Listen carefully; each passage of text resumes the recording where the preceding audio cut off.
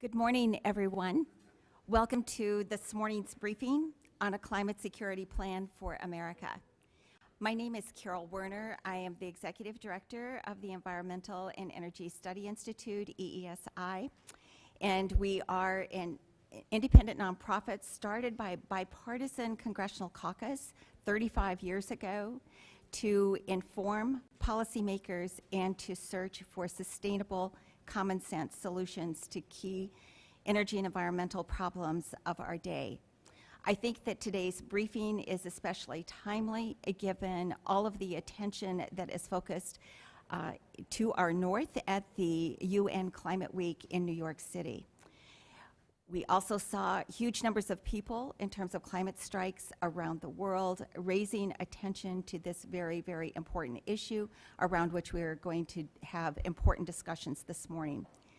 I want to say that I am delighted that we are partnering once again with the Center for Climate and Security. This has been a wonderful, strong partnership we believe so strongly in so many of the same issues, values, and the importance of what we can learn through a better understanding of how climate, its impacts, how that affects our national security in so many different ways. So at this time, I'd like to turn to my colleague, John Conger, who is the director of the Center for Climate Security.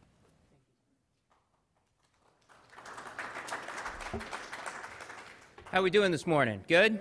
Everybody do well on the metro this morning? I, uh, I understand that we had some accidents and some problems, uh, but in the end, uh, you're all here, we, uh, and for those watching online, uh, uh, hopefully you weren't impacted either. I, I thank you, Carol, for your kind introduction. I'm John Conger. I'm with I'm the director of the Center for Climate and Security. we also really value our partnership with Carol and EESI. Uh, Carol, uh, uh, you may or may not know, is leaving as the executive director uh, of uh, EESI, but will stay with the organization, she tells me. But I just wanted to take the opportunity at the outset of this particular forum to say thank you to Carol and to all of the great partnership we've had from you. So thank you so very much. Um, uh, keeping with the theme of thank yous, I, I also wanted to thank uh, our funders, the uh, Henry M. Jackson Foundation and the David Rockefeller Fund, for their support for the efforts that, that we have uh, gone forward and for, for this report.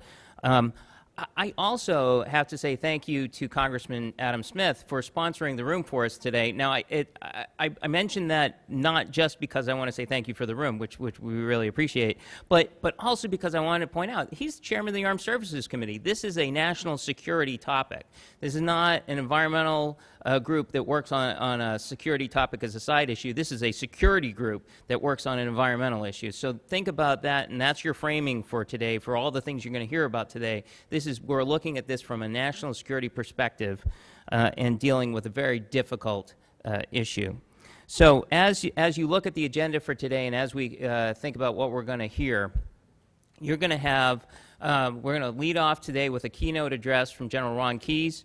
Uh, I'm going to introduce him in a moment, uh, but he is a warfighter's warfighter who's going to be able to give you a perspective uh, on, on this issue in the intersection of climate and national security. We're going to have uh, a panel of distinguished uh, security experts who are going to talk about the impact of uh, climate change on our military uh, just to sort of give you the baseline from which we're operating, setting, setting up the problem. So panel one is setting up the problem. Panel two is going to be talking about our solution. We have uh, a climate security plan for America that we are publishing today. Uh, there are copies of it outside. You can also get it online, but we, you know, killed a tree in, in, in order to uh, get you copies, hard copies here, because sometimes you just have to hold it in your hands. Well, there's plenty to hold in your hands out there.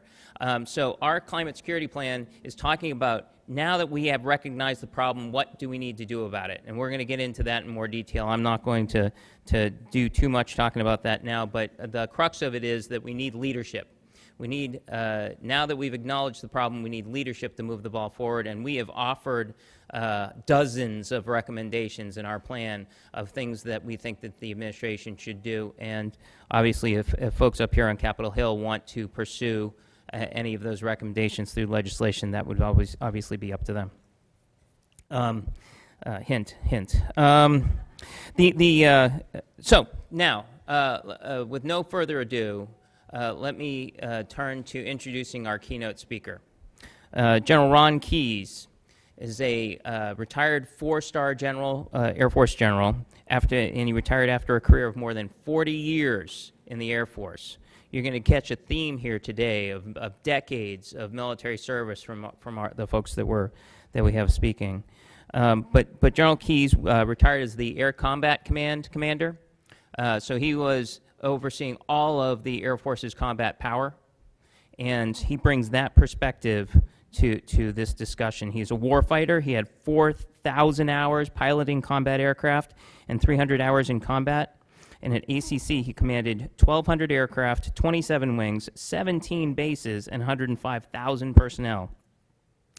Now, uh, among those bases that he commanded include some of them, some of the ones that are impacted and endangered by climate change and extreme weather. So he has uh, not only the combat uh, perspective that he's bringing to bear, but also the managing bases that are impacted uh, by climate change as well.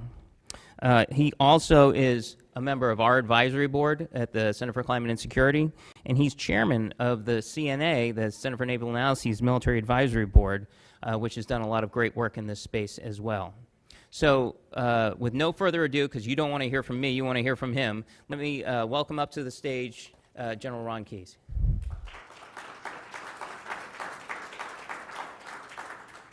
Good morning, everybody. Morning. Morning. Morning. How about them cowboys, huh? Somebody watched TV last night. Okay, so, uh, here we are. Just to talk about my bona fides. I was raised on a farm. I was educated as an entomologist, trained as a fighter pilot. I like to hunt, play golf, and I raise honeybees. And there's a wildly embellished story about a Dutch giraffe out there. And I'm here to keynote the Climate and National Security Forum.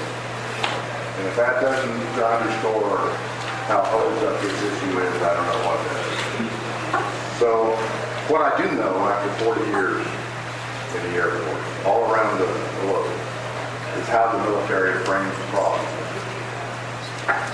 The prime directive is this. We go and fight and win America's wars we're called upon to do so. Whether that war is global vigilance, humanitarian rescue, or active combat. So that we owe America's sons and daughters the best equipment, the best plans, the best training and leadership we can if they're called into harm's way. We hire commanders to win, not explain defeat. And that's why DOD cares about this. For us, this is not the religion of politics, of big or small government. Now can you hear me? Big or small government, liberal or conservative views, or being a climate scientist. This is for us about the religion of math.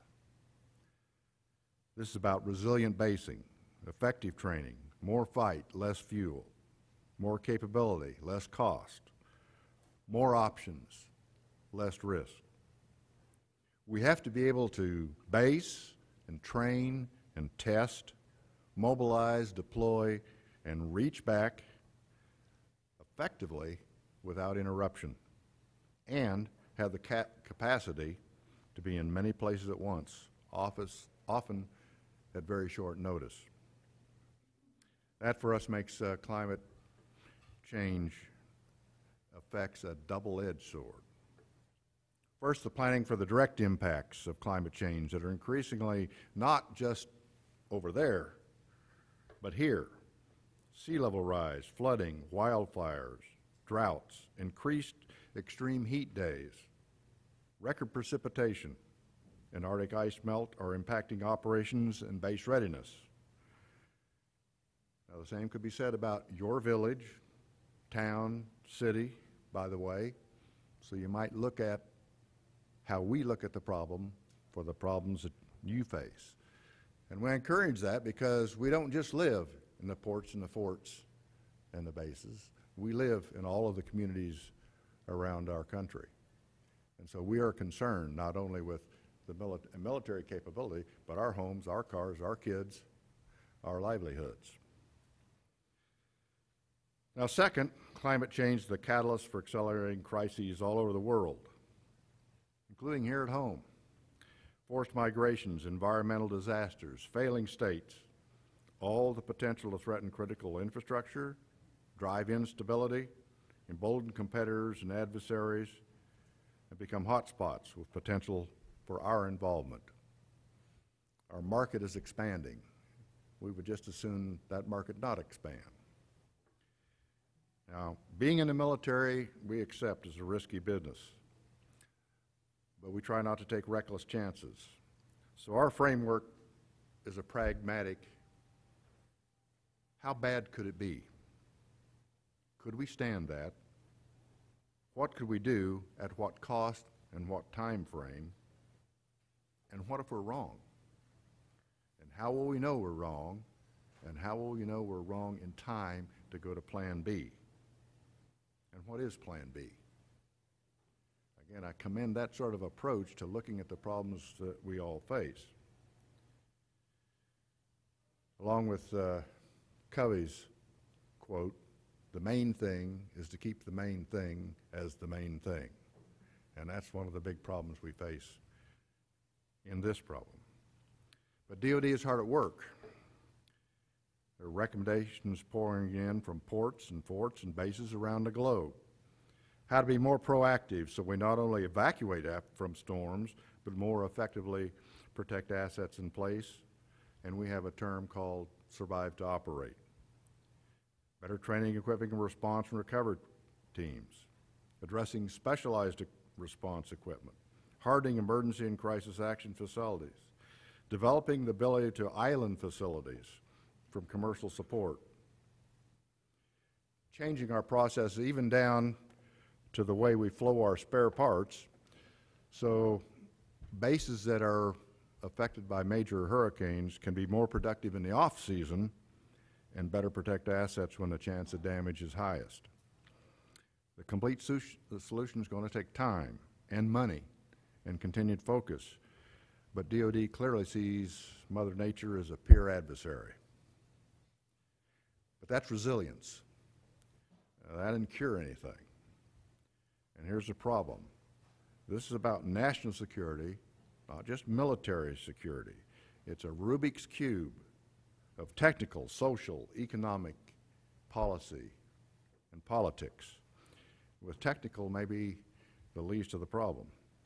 Economic, energy, agricultural, and a host of other securities make up national security. DOD cannot fix this problem.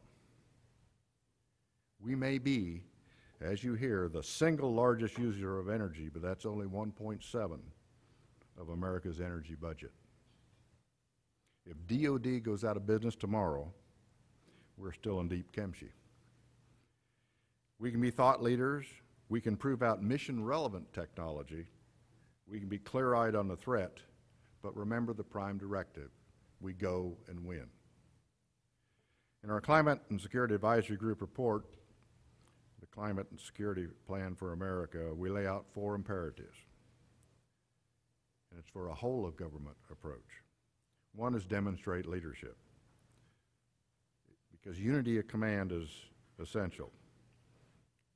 The problem with that, of course, is everybody believes in unity of command as long as they're unity. Everybody wants to drive the train, but we've got to have leadership. You can't blow an uncertain trumpet and have everyone follow you. Everybody, everything can't be a priority, and somebody's going to have to pay the bill. Assess climate risks is number two. Forewarned is forearmed. Support allies and partners. We think that's important because an ounce of prevention is worth a ton of deployment orders. Prepare, prepare for and prevent climate impact. Uh, that's hard choices ahead. And I think that fourth one is the hardest and the most important. And we're already late. We, we say two things mainly in point number four. Build U.S. resilience to climate change risks and reduce their scale and scope. Now, who would argue with that? Certainly not Houston, not Omaha, or Paradise, Paradise, California. Second, in the U.S. and globally, reduce greenhouse gas emissions at a scale necessary for both avoiding catastrophic security consequences and bolstering economic development. Here we go. When I say the dreaded phrase greenhouse gas emissions, that means someone's ox is going to get gored. That means somebody's going to lose and somebody's going to win. That means all our lives are going to have to change, probably expensively. But what's the alternative to not doing that? That reminds me of the story about the chicken and the pig and breakfast. If you're having ham and eggs, just remember the chicken was involved, the pig was committed. Are you the chicken or the pig on this issue? Finally, let me leave you with this anonymous quote as you think about this issue today. It was so much easier to blame it on them. It was bleakly depressing to think that they were us. If it was them, then nothing was anybody's fault. If it was us, what does that make me? After all, I'm one of us. I must be. I've certainly never thought of myself as one of them. No one ever thinks of themselves as one of them. We're always one of us. It's them that do the bad things. So thanks for listening to me, and don't forget to pig.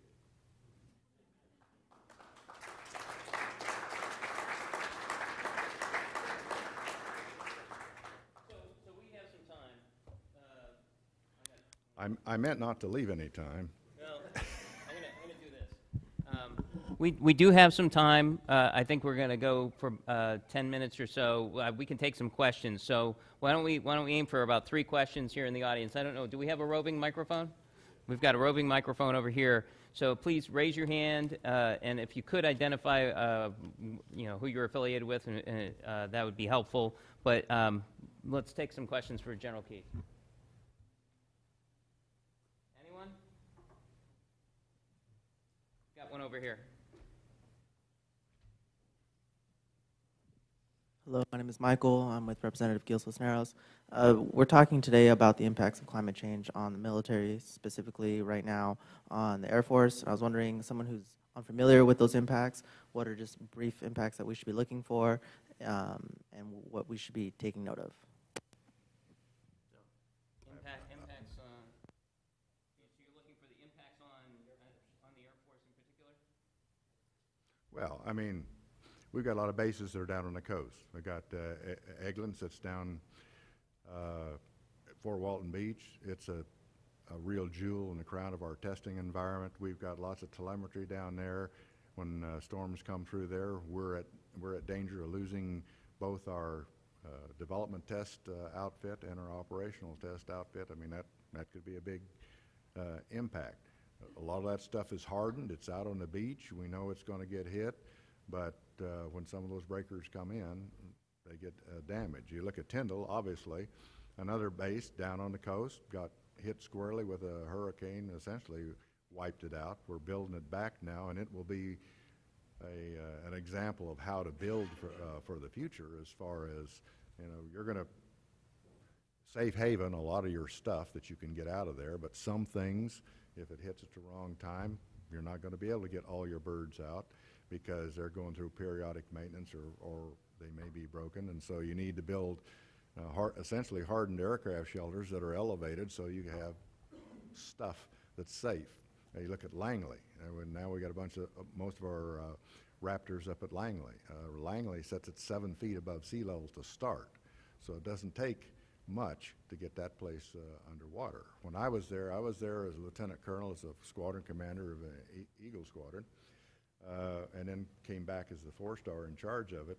And you could see that just in that span of time, that we'd get a good, strong nor'easter coming through, and we were three or four feet uh, deep in water in places on the base. And we could see that at high tide, we are starting to get uh, infiltration of seawater uh, on the base. You go across uh, to Norfolk. Uh, Norfolk has got some serious problem in some of the housing areas, uh, which are off base, just from a, during high tide, not be able to get through the water to get to get to the base to go to work. So those are the kind of the impacts. Then you go out west, the wildfires. I mean, it's not just civilian structures are getting burned. We're losing power. Uh, we're losing some of our training ranges, and the other impact that you have is we have people on the fire lines, and so all every person you have on a fire line is a person that can't go and do the job that we actually hired them to do in the mil- military. When we were down in uh, Houston, uh, we were doing uh, swift water rescue down in Houston. We're not really set up to do uh, swift water rescue, and when you do that, you need to have trained people, or you're going to lose people getting uh, swept away. In fact, during that first, not this last, most recent uh, deluge down in Houston, but in the first one, we ended up rearranging our deployment schedule because we had people either affected and we couldn't get them out of town, or we had people deployed in there helping people sitting on their roofs, uh, rescuing them, so we couldn't deploy those units out uh, overseas in their normal rotation. So those, that's the kind of uh, impact that we see. And, and people go, well, we just, you know, head to higher ground, you know, and that, and that's going to be an interesting discussion when you walk into the senator from uh, state X and say, you know, this has been great being here, but we're going to head for higher ground and we're leaving the state. Uh, so there's got to be an understanding of you can mitigate, to, uh, mean, be resilient to a point, but at a point, you can't be resilient anymore. So we need to start on the other. We need to slow this uh, climate change down and arrest it. That's the, I guess, the most, the most important impacts. We've got one over here, uh, I see one in the back there, and one over here. And, uh, that's probably more questions we're gonna get to. Can you, uh, go one, two, three here, real quick? Let's take them all, all the questions, and then we'll let General Keys wrap up and answer. So if we do, no, You gotta t- just ask, if you ask your question, we're gonna go and do all three questions. You got to remember the questions then. Yeah, okay, we'll work it. All right. Um, I'm Riley. Um, I'm with the Office of Senator Jeanne Shaheen. Um, earlier, you mentioned how climate change creates more opportunities um, for conflict and involvement of the United States abroad. Uh, I was wondering if you could speak a little bit more to that and where those conflicts would be. Um, So how does, how does, cli- can we get the microphone back, you can walk back. How does climate change cause conflict? Um, there was a a woman over there, and then, uh, who goes? My name is Bethlehem, and I'm with the Center for Development and Strategy. Um, my question is, and not to sound alarming, but some scholars have argued that it might be uh, too late for small island states to um, uh, benefit from any measures in mitigating climate change now. And I was wondering, uh, since we mentioned working with allies, if there are any sort of, um, perhaps not preventative, but uh, mitigating um, measures that the U.S. is taking with its allies, um, things like preservation of cultures and societies, histories, and things like that for, for smaller island states that, uh, that might face extinction.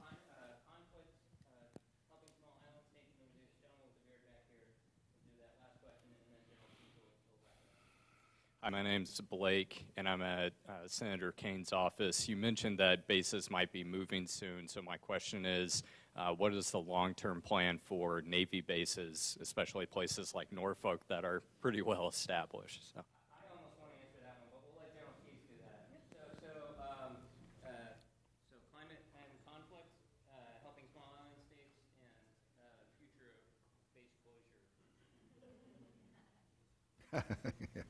Well, I take base closure first. I mean, as we look at, you know, ranking our bases and everything, that's one of, uh, I believe, and I'm not behind the green door on this, so don't everybody run out with their hair on fire that uh, we've got another round of BRAC uh, going on. But that's going to be one of the analyses that has to be done to say, how much money do we pour into these bases uh, until you're throwing good money after bad? And is there a way that we can make, we can make the, the curves meet so that we're doing resilience over here while someone is starting to think about mitigation and slowing down the, uh, the effects. I mean, that's the hope, is that you build your levees high enough, you change your operating procedures well enough that you can then live through whatever happens, which we call surviving to operate. We know we're going to get attacked, but we're going to be, still operate, maybe at a reduced level, uh, until somebody fixes this. Now, if somebody doesn't fix this, you know, then I don't know. And I don't know what the timeline is. But you can look at Norfolk, but you look at the port of Norfolk. I mean, uh, they're no better off than we are. And so there are a lot of people starting to worry about uh, how, do, how do we make this resilient enough to, uh, resilient to last. And what was the next one? conflict and then helping small island states. How does climate change cause conflict? Ah, well, that's pretty easy. I mean, uh, the patterns of weather are, uh, change. Uh, you get des- desertification. Uh, you don't have enough water to grow food. You have people up, people that pick up and move, and they're forced migrations, and they go through areas where other people are, and they want to settle there. I'm already here. I don't want you coming in here uh, and setting up camp because I have barely enough grass for my cattle, for example. Uh, You see that I'm moving to large megacities. Uh, They're looking for a better life. They're looking to be able to do something. Uh, One of the, the problems that you have is then you have in a lot of these ungoverned spaces and the failing states, uh, groups that come together and say, well, look, the, the government's not taking care of you. Come with us. We can show you a better life.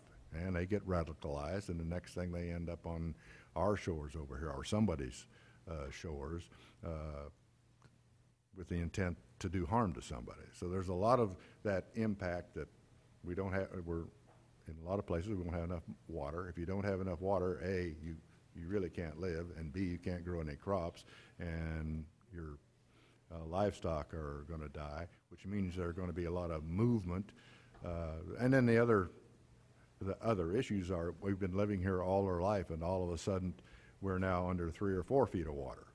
And we can't live like that, and so we, now what do we do? And again, it's the push and shove of between the, the constituted government taking care of people and other people, other groups showing how they, if you come with us, we can, in fact, take care of you better than the government. So there's a lot, I mean, a lot of impacts across the world. I mean, we'll eventually, if we go long enough, I think we're going to see it here. We'll have another grapes of wrath story in the United States. My mom lived through the dust storms that swept through the country, and she's told me those horrible stories. I, I don't, we don't want to see that. But it's not just going to happen over there. It's going to gradually uh, happen all around the world.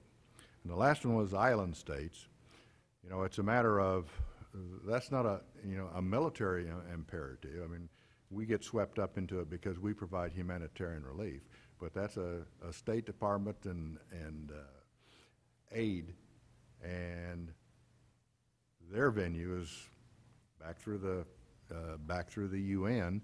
Uh, and I think there's a couple of islands out there that are about to co- become, if they haven't already come, you know, the first environmental, uh, uh, humanitarian uh, situation where they have lost essentially their country due to environmental uh, change, to climate change. So that's not a direct, you know, we're not directly involved in that. We're, we're in a, a uh, ancillary mode when it comes to assisting. The other, the other issue is, you know, around the world, we tend to think of, of the desert in the Middle East and Africa and places like that as, because they have some very serious problem. But you start to look at some of the other areas which are getting more rain and they're getting flooding. And you start to look at the Malaccan Straits and the area over in Southeast Asia. There's, there's plenty of issue for everybody. And our concern as the military is, you know, we go and win, and part of that winning is humanitarian rescue and, and support when we're called upon to do so, but there's only capacity to be so many places and so many, at, at one time, and still do the primary job, which is to deploy and uh, carry out our country's business in the military sense. So that's the, that's our worry. All right. Well, thank you very much.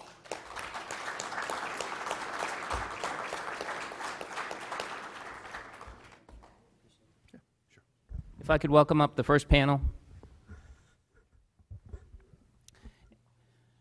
And uh, and while folks are coming up and taking their seats, uh, let me just say a couple things about what you're going to hear from this first group here. I, um, I appreciate some of the questions because uh, it, it reflects the fact that what we need to, before we start the discussion about how you fix things, is a little bit more discussion and description of what the problems actually are. How is climate change affecting national security? And that's what our first panel is going to, to discuss in more detail. Um, we are going to have a conversation about operational impacts. We're going to have a conversation about impacts to installations. We're going to have a conversation about what future missions might be assigned to the military in the context of climate change. Um, what do you do when there's a whole new ocean in the Arctic that the Russians want to take control over? How do you how do you deal with those dynamics? And then, obviously, how do you deal with uh, the climate stresses and how it drives conflict around the world? as our as our panel takes their seats, um, uh, this is the kind of conversation we're gonna we're gonna have uh, for the next hour or so. I'm gonna um, introduce each each of our panelists at the beginning, and then we're just going to go through and have each one give some remarks, and then we'll do some more questions afterwards. But this part of the conversation, um, think through. Uh, these, these are the questions about what, what the problem set is. Um, I will say, if you want to talk about base closure uh, later, I'm, I'm going to be available. I used to own the base closure uh, portfolio at DoD when I was uh, the assistant secretary back in the last administration, so I can talk at length about BRAC if you really want to hear how it works. Um, so today's panelists, um, uh, we have uh, first we have Lieutenant General John Castellaw, who served 36 years in the Marine Corps. He's a pilot who later oversaw all of Marine Corps aviation and uh, then the Marine Corps budget. So. Uh, 36 years of experience there in the Marine Corps. Uh, we have uh, Rear Admiral Ann Phillips, uh, she's currently serving as the special assistant to the governor of Virginia for coastal adaptation and protection. Served in Norfolk for a long time. Uh, during her 31-year Navy career as a surface warfare officer, she commanded uh, Destroyer Squadron and Expeditionary Strike Group 2, uh, which included all of East Coast amphibious forces. Uh, so 36 years, then 31 years of experience. We have uh, Brigadier General uh, Jerry Galloway. He's a professor at the University of Maryland, a professor of civil and environmental engineering. Uh, he served 38 years in the Army, uh, including service as the dean of the academic board at West Point. Uh, so 31, 36, 38. I'm, do- I'm, I'm, not actually going to try and do public math here. I'll, I'll, I'll, move on. Uh, Joan Vandervoort served as a DoD civilian for 28 years in OSD uh, and in the Army, uh, managing environmental and encroachment issues and impacts on military training. Uh, she served as the deputy director for Ranges, Sea, and Airspace in OSD's Readiness Office. So we're going to get a lot of perspectives here, uh, practical perspectives on how uh, operations have been and are going to be impacted by climate change. And so, with no uh, further ado, let me turn it over to General Castellaw. Thank you, John. I appreciate the opportunity to be here, and thank you very much for putting my name on the back of this. Sometimes I get lost, and that's going to be very helpful. Can you hear me all right? And I see Denny McGinn out there. Uh, Denny taught me how to add when uh, we were in uh, uh, OPNAV. I was, actually, I was in the Marine Corps, and uh, he was sort of one of my bosses as we put the budget together, so it's always good to see him. You know, it's, uh, we talk about uh, climate's impact on security. It really, for me, Oh, make the green light come on, okay. For me, it started uh, growing up, uh, like General Keys, I uh, grew up on a farm, and the determining factor in just about everything we did was the weather, It was the climate. Uh, how, how we prospered from year to year depended to a great extent on, on what the weather was and, and the climate and how well the plants did under our care.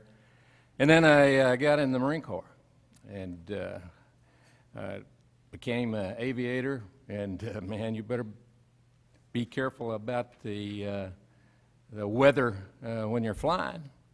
And also, as I got up into the ranks and all, we started doing operations and being responsible for planning. And you better think about what kind of operating environment you're going to be in.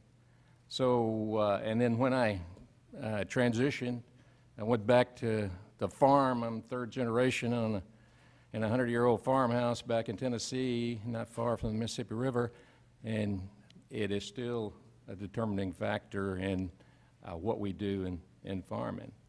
And so, uh, let me, I see Esther Babson out in the audience from uh, American Security Project. Let me try to steal, and I've never had an original thought in my life, and Denny can confirm that. Let me try to use what uh, ASP has put out in terms of a framework to think about this. And, and you start with sea level rise. And what we're talking about is impact on, on uh, our national security and on, on the military. I spent well, about a third of my career in the Camp Lejeune Cherry Point complex in eastern North Carolina. Uh, and of course, you know, Marines like to be near water. They like to have sand in their boots and, and to, uh, have a place to land. And if you look at Camp Lejeune, you know, it's a lot like all the other areas in the East Coast. You got barrier islands down there. In one area, the first place that I ever did a amphibious uh, landing was Onslow Beach, which is essentially a barrier island down there. But what we're already starting to see down in Camp Lejeune is an attack on those barrier islands. They're getting more severe. Uh, if we say eh, 2035, we're going to see some additional overflow over those barrier islands. And then Camp Lejeune is wrapped around the New River, which is a very shallow inlet, broad inlet, and you can just see how the surge from uh, the waters during a storm or an increase, uh, as we're seeing in the uh, uh sea level, is going to impact it because we put, you know, everybody likes to be right on the water, so you can see how all that infrastructure, and it's billions of dollars of in infrastructure that's going to be at, at risk down there. Uh, we go a little bit further south. Uh, when I commanded the 2nd Marine Aircraft Wing, I had Beaufort, South Carolina, which is a uh, fighter base, and uh, I tried to steal as much money from the Navy as I could to put into F-35s that we're going to base down there. And you look at how uh, threatened that Beaufort is going to be, and you think about, okay, are we doing the right things in terms of where we're uh, doing our investments? And what do we need to do to mitigate the risks that are posed to such bases as Beaufort and Parris Island? You know, we just had this hurricane, and the first thing you have to do down in Parris Island is you, uh, because you've got one causeway that goes in and out, is to get uh, several thousand uh, recruits on buses and get them out of, out of harm's way. Uh, so along the coast here, uh, everybody knows about Norfolk, uh, but it, there are also other areas uh, that are under threat uh, from sea level rise. And let's talk about uh, extreme storms. Again, you know, I said I was a farmer. Well, you know, what we're seeing is an increase, I think since 1880 uh, when we started keeping this, the uh, uh, increase in the days of the year where we have more than two inches of rain. And what does that mean? Well, when you get this flood, this increase in uh, rain flow, then it exceeds the capability of being able to handle it. Uh, and if you look at the Mississippi Basin, where I'm living now, and you look around, you see uh, places like Offutt, which is uh, on the Missouri River, uh, even uh, naval support activity, Memphis, which was built during World War II and within the last 10 years has had uh, uh, to deal with flooding uh, in their housing area and rebuild that. Uh, you talk about Fort Campbell, Fort Knox, Fort Leonard Wood, Missouri, uh, e the, inland and far from the ocean and sea level rise, they're subject to damage from extreme events uh, flooding and, uh, and rainfall. One of the ways that I've confirmed that, besides being scientist, there's a, uh, a very, very suspect magazine that comes out every month. It has for 110 years. It's called The Progressive Farmer. And in it, every month, is a article on how we're going to have to do a better job of conservation uh, in growing crops because erosion is being accelerated by that increase in those rain events of doing that. And not only that, you know, one of the, the areas that uh, we, you know, we're dealing with tariffs and we're dealing with uh, uh, uh, a downturn in uh, commodity areas. Uh, one of the areas within the last 20 years in the U.S. that we've increased food production, uh, soybeans particularly, has been in South Dakota. And uh, what we're seeing now is with the uh, increase in the growing season, you're able to do that. But that area also is, in the uh, uh, Midwest, is one of the areas where that we've had an increase, annual increase in the amount of rain by eight inches on average. You can you look at the graph and see that the trend has continued up to do that. Now, the uh, third thing is extreme drought. Uh, I, you know, spent a lot of time. I, I'm, I broke the first promise I ever made to my wife I, uh, when I graduated uh, from University of Tennessee. I said, "Honey, three years and we're back on the farm," and we stayed in for 36. She moved us 25 times around the world.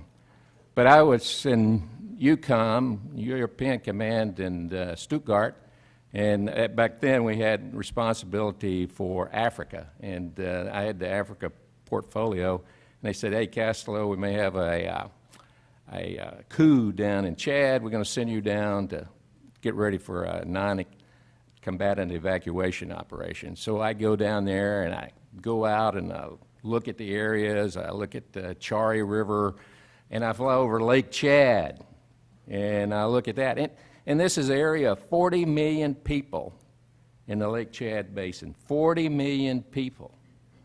And because of, uh, of uh, instability from a number of things, it's always had under the layer there some situations. But it has increased in the recent years. I went back uh, two years ago and I had the opportunity to go over the same area, and I was amazed at how much Lake Chad has gone down since I was there. And what we're talking about, an impact on a couple hundred thousand fishermen, on uh, farmers, on herdsmen, what's happening as the desert comes south and the lake dries up, you're pushing the herdsmen south into the uh, farming area and crop area, and you're getting gunfights between herdsmen and uh, farmers, the fishermen are trying to figure out what they're going to do. And in this environment, you have Boko Haram who's recruiting individuals and undermining those nations down there that uh, their stability and eventually and eventually that instability uh, will impact us. Now, Esther, what's the fourth thing? Ah, Arctic ice melt. Thank you, Esther. Arctic gas melt. Uh, I was reading uh, the Military Times here this week. Uh, you know, we've had an si interesting situation in, in the Korean Peninsula, and uh, uh, we have suspended exercises on the Korean Peninsula.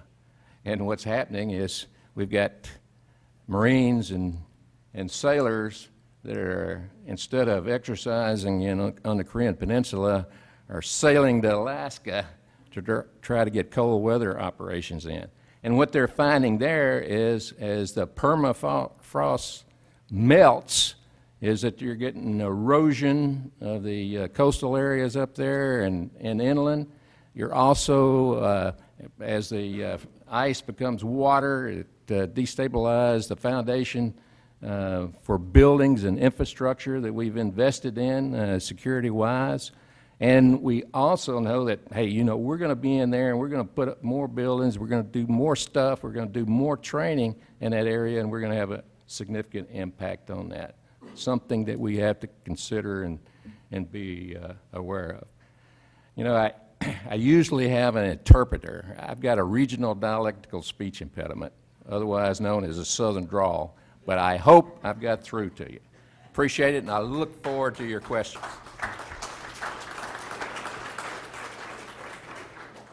Thanks, General. Um, Next, we're going to have uh, Admiral Phillips.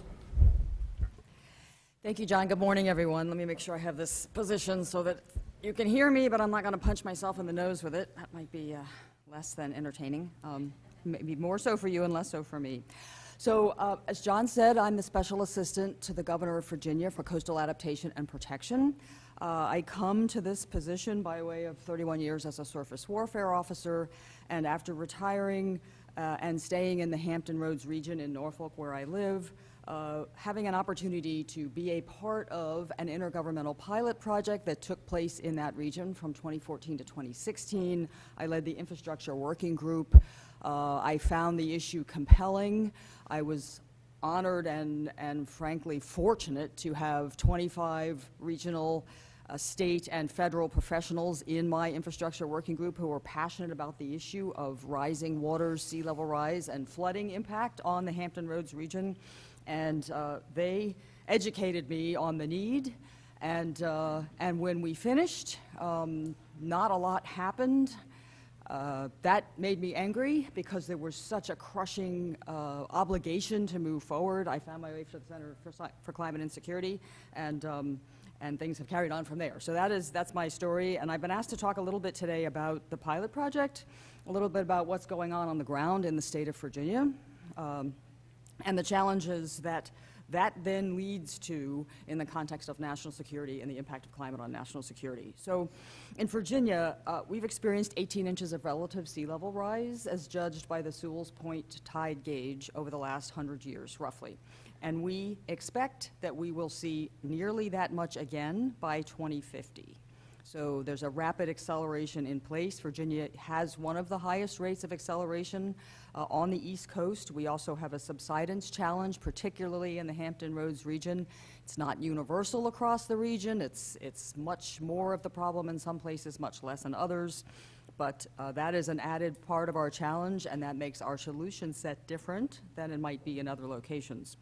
Um, what we are experiencing in Virginia now, across coastal Virginia, is, is not just uh, the need to prepare. We are already living with water. Uh, in some cases, at least on a weekly or even maybe monthly basis, but more recently this fall, and, and we are seeing a trend.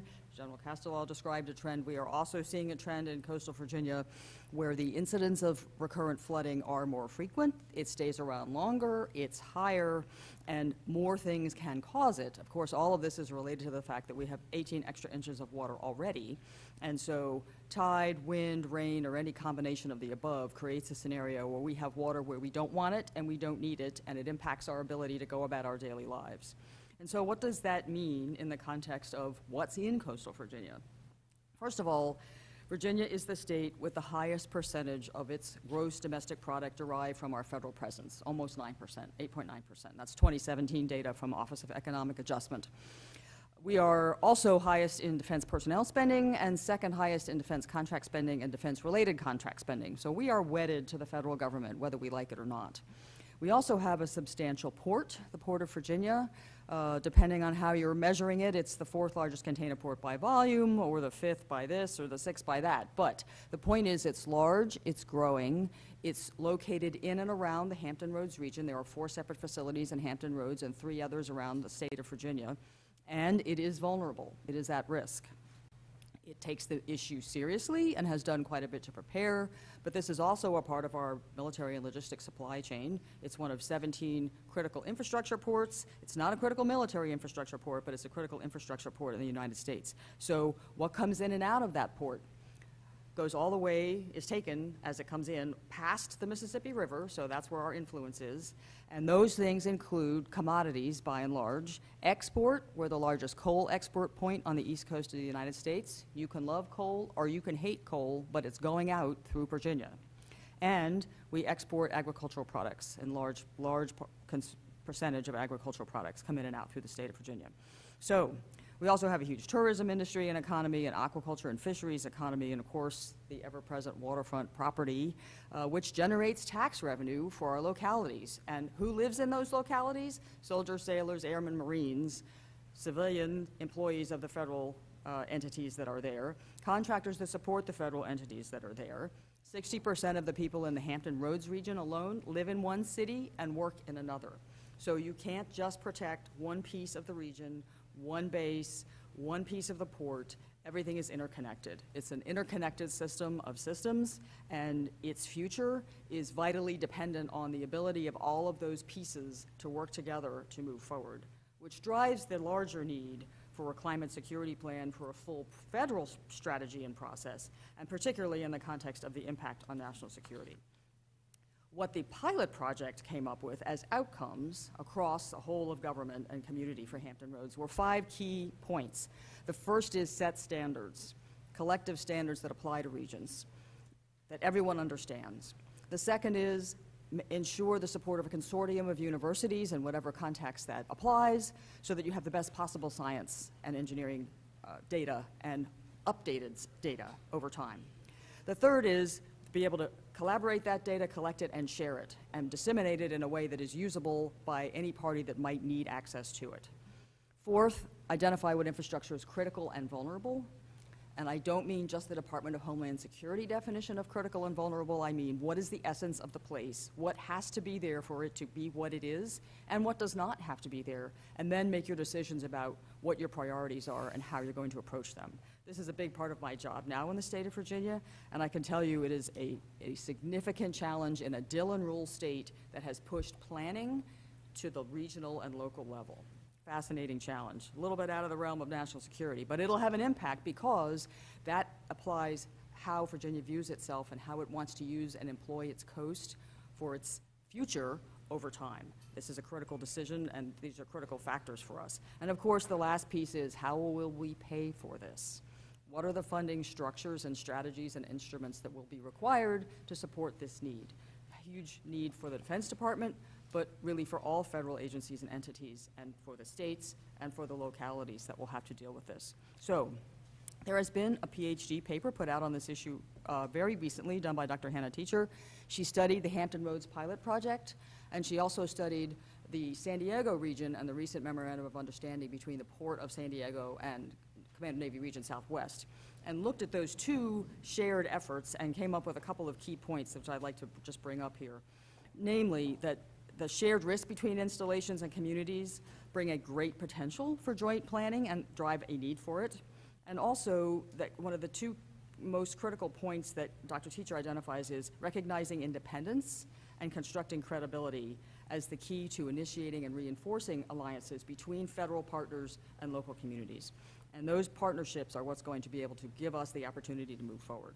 There are other programs that are of- great value in this context. The Office of Economic Adjustment Joint Land Use Studies uh, are are significant, um, positive, we've had significant positive out- outcomes from them in the state of Virginia. Uh, Understanding that what impacts the the community and how that impacts the base and federal facilities, and also working with the Army Corps on coastal storm risk management studies. But the key to remember there is coastal storm risk management studies are focused on coastal storm risk. They are not focused on sea level rise, they are not focused on recurrent flooding, and so the outcomes that they uh, recommend may be of great value in preventing storm surge, but they may not do anything for the recurrent routine flooding that we are starting to see in Hampton Roads. So recent NOAA data just put out this year, 2019, shows that by the mid-2020s in Hampton Roads, nearly every high tide, at least half of them every year, um, nearly half every year, will approach the nuisance flood level. So that means we're going to see flooding on roads that people use to get to work every day, that get into Naval Station Norfolk, Hampton Boulevard, one of our key uh, friction points. Shore Drive, another key friction point because it accesses Joint Base Little Creek, Fort Story. Um, Areas where we're seeing flooding now, we're going to see flooding a whole lot more often. And that will negatively impact our ability to execute our mission uh, in the context of environmental readiness, degrading, environmental challenges, degrading readiness over time. So this is our challenge in coastal Virginia, and it's not just Hampton Roads. Uh, Wallops Island, huge NASA facility in Wallops. Navy's a tenant command there, but Navy does an awful lot of missile testing there. It's our only missile test range on the East Coast. It- We do an awful lot of radar testing and training. It's all out on Wallops Island, which is all in a special flood hazard area. So a very vulnerable facility, critical to national infrastructure and our ability to uh, train and prepare our forces to operate downrange and test our new weapon systems and radars, but uh, equally very, very vulnerable facility. That's Wallops Island, Dahlgren, AP Hill, up here in, in Northern Virginia, number of facilities at the federal level, absolutely critical and certainly vulnerable. So, uh, in the context of what's on the ground, what we're seeing in, in coastal Virginia, um, this is a today problem. This is impacting and chipping away at our forces and our readiness and our ability to project power downrange now. It's not just a Navy problem, as you heard earlier from previous speakers. It's also an Air Force problem. Langley, Eustis, average elevation eight feet above sea level. That means a lot of it's below eight feet of elevation. Um, Fort Eustis, where our Army keeps all of its boats, very low area, very vulnerable, uh, and all of this critical infrastructure um, is at risk. So I, I attempt to make a compelling case for you for the need to take action now. It's very easy to say, sun shining, wind's not blowing, don't have a high tide, everything's fine, but um, spend some time in coastal Virginia, and, and you will, you too will have a water story. You will view this differently. And if you, you don't have to spend much time in the Hampton Roads region to understand the essential impact and the criticality of uh, our challenge and its impact on our ability to execute our national security strategy. We have no time to waste. Um, one of my favorite sayings, time and tide wait for no man. Thank you. Thank you, Admiral. General Galloway. Uh, Thank you very much. Let me start with two quotes, uh, or paraphrases. The first comes from the Army Field Manual 101-5, which was put out in 1980. It's been revised. Um, Weather and terrain have more of an impact on military operations than any other factors, weather and terrain. The second is from an equally uh, good source, and I'll see how many of you know where it came from. Toto, I don't think we're in Kansas anymore. We're in a different world than we were. Uh, in 1980, we could see some uh, ideas that there might be climate change. I've worked in the, the Mississippi Basin for almost half my life, and I've seen the challenges with what's going on with floods in that area. We've noticed uh, since really the 70s and 80s, we were losing Louisiana. If those of you who've been down there, the coast of Louisiana is disappearing. The second most vulnerable area is coastal Maryland, the eastern shore of Maryland. Uh, I invite uh, uh, you, when you go to Virginia, a beautiful place, I live in Virginia, and you go north on the Delmarva Peninsula, you'll see the challenges we both face. We face with Annapolis uh, uh, for the Navy and the Naval Academy. We face with other installations that are in this particular region. So we know that weather and terrain have an impact. Uh, You can think of that in terms of Napoleon trying to get to uh, Moscow, Hitler trying to attack Moscow, all the things you've seen in pictures, or you can think of things you've seen more recently, like the pictures of Offutt Air Force Base underwater. Uh, but then you can think of things that are changing, and they're changing rapidly. And we can see that. We are on the east coast of the U.S. having sea level rise at a much faster rate than other places in the world. And so it's important that we know and understand that. Well, military bases at home and abroad are terribly important. I spent 38 years as an Army engineer, combat and then civil works engineer, worrying about things like floods. And then 23 years since then, I've been engaged in trying to deal with how we deal with these disasters, with floods being the principal one. And they're all around us and they're hitting us every day. Uh, now, you can say military bases at home, uh, that, that's important, but we ought to be able to take care of that. No, no. What are the military bases? There are launch platforms. They're how we get troops ready to go overseas. You've heard uh, General Keys mention that we need to deploy. You can't deploy unless you have a base from which to deploy. They're the uh, uh, logistics centers for the supplies we need, the high quality uh, equipment that we use, the people that are repairing it and using that. They're the places where we do our training. And uh, Joan will give you a lot about the training and why it is so difficult and the challenges we're facing on bases across the country uh, in trying to keep up with what the weather is doing to us. Uh, they're also operational. Many of you have seen movies, if not other things, where you see somebody sitting in Nevada operating a drone that's flying somewhere else in the world. So we have tactical operations being conducted from bases in the United States. So we need to have them ready to go, able to participate in whatever the operations are. And they have a, a defined area in all of these bases, and you say, well, that's okay, Fort Benning is here, or Fort Bragg. But to get to the right airfield or get to the port, you have to go, as, as uh, Admiral Phillips has mentioned, you have to go cross country. You have to go through communities. You have to find roads that work. And you have to have the support that you need uh, to, to be able to power the, the bases themselves and have the people there. They have to be able to get to the base, and the people that live on base uh, uh, have to be able to have the support from the lifelines that we all know. It may be water, it may be power. Uh, we've got to think these things through. As a team, we need to address them, and they're not getting better. And that's why we're not in Kansas anymore. Uh, we did a sea level study, the Center for Climate and Security, uh, of bases on the east shore, east coast and the Gulf Coast. And we looked at what was happening. And you could see the pictures of what would be happening in, in 2050, 2070. And these are estimates. We really don't know. Uh, we, I'm on the Coast Smart Council of the state of Maryland. We just came up with a, an approximation of where we'd be in the years ahead in sea level rise. It isn't a pretty picture. It isn't a pretty picture if you take the bad situation. Even with a moderate situation, it's very difficult for us. And what should you be doing if you're preparing or thinking about this? Uh, you may recall after 9 11, what we had was a, a, committee that looked at what did we miss. And the answer was a failure of imagination. And so in this report that the center put out for the military on these bases, they said, think the tragedy, think the catastrophe. You don't have to bill for it, but you better have thought through what you would do. Again, uh, General Keys brought out the issue of you've got to be prepared for the completely unknown and you've got to think of what you'd do. We now say in the United States flood community, there's no such thing as absolute protection. We cannot guarantee you protection in, in Houston or in New Orleans or at Offutt Air Force Base because nature is going to do something different. We thought we could run 60,000 models and it'd tell us what could happen, what, where it possibly might have another hurricane come in. But nature doesn't read that same model the same way. And so it may come up with a different way. Had uh, Hurricane Harvey come in at a slightly different angle, the damage would have been far in excess of what you see uh, we're still trying to cope with. So there's a lot of things going on, and we've got to be prepared to think about it, and we need our best talent on it.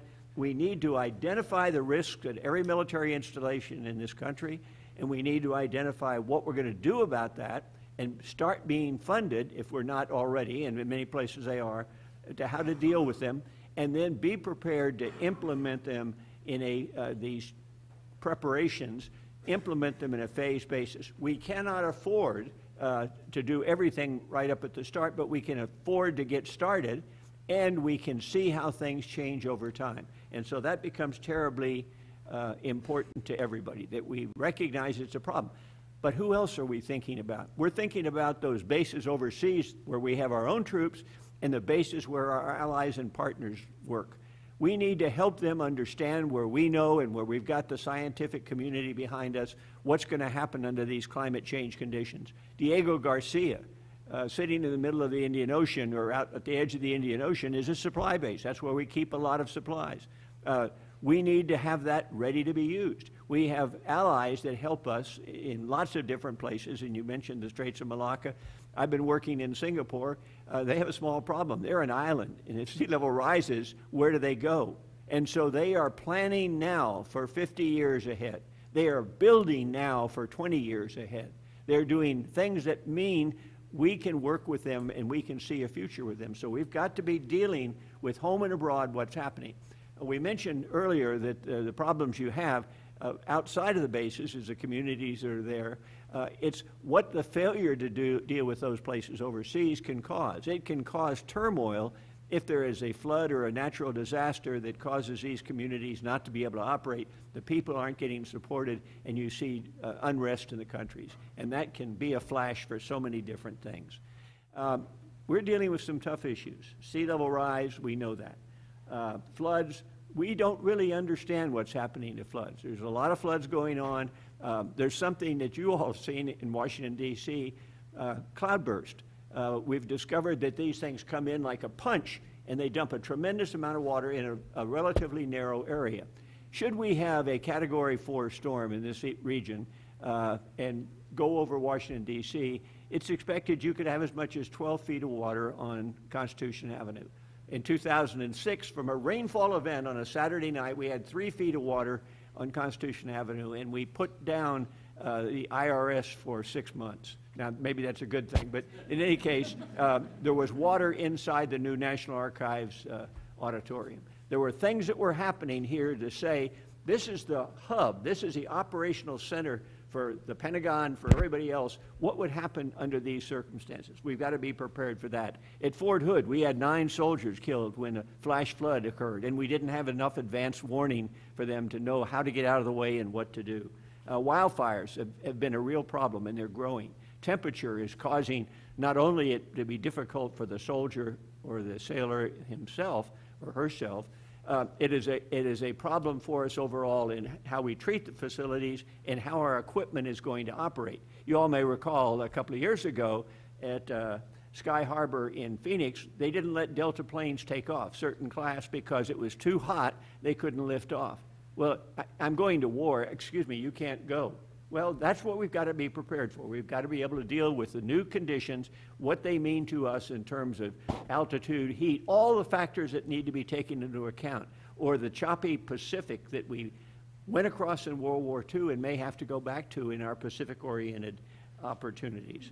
So, all of these things affect the battlefield, they affect how we fight. Uh, will the battlefield be different? You bet it will be.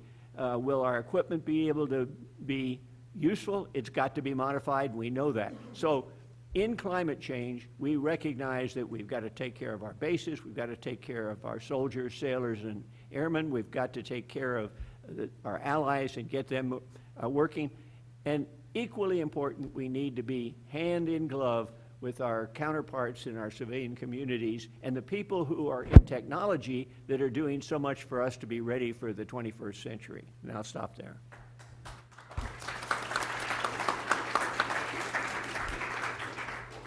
Thanks, General. Joan?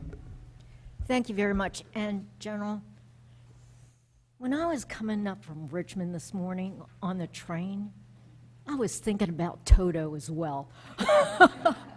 really, we are not in Kansas anymore.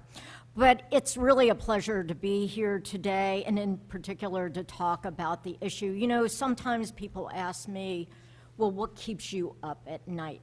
Besides pizza and a beer at 11:30. Um, well, it really is the risk of climate change and how it impacts training readiness. Um, because training impacts, it actually runs in my blood because that is what I focused on for the last 20 years of my career. So this is an important issue to me even now. So, from my perspective, climate change is no doubt a game changer when it comes to having a fully prepared force because readiness depends on the ability of DoD to rapidly respond to unpredictable global threats. Training of the force is critical to that readiness. And the cornerstone to training are the ranges that include the air, sea space, and training lands that support it. Well, why is that important? Because to decisively win and survive on the battlefield depends upon realistic training and being able to replicate the operational environment. Now, I'm going to step you through the reasons why the climate change is a game changer to training readiness. So when we talk about ranges and the range enterprise as a whole, I want to let you know that each of the services currently faces shortfall and challenges with regard to range capability. As an example, some of the services have shortfalls in automated ranges, feeding and scoreback mechanism, spectrum issues, airspace limitations, and deficiencies in maneuver land, as well as personnel, range personnel as well, all of which are needed to support the doctrinal requirements.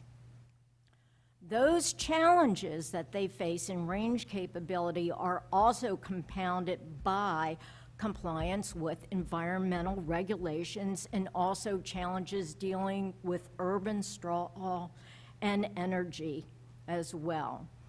So the bottom line is this. The services are challenged by existing shortfalls in range capability that are further compounded by encroachment impacts. And this is not something new to Congress. This is something that has been reported to Congress multiple years since 2001. Now, let's throw climate change into the mix.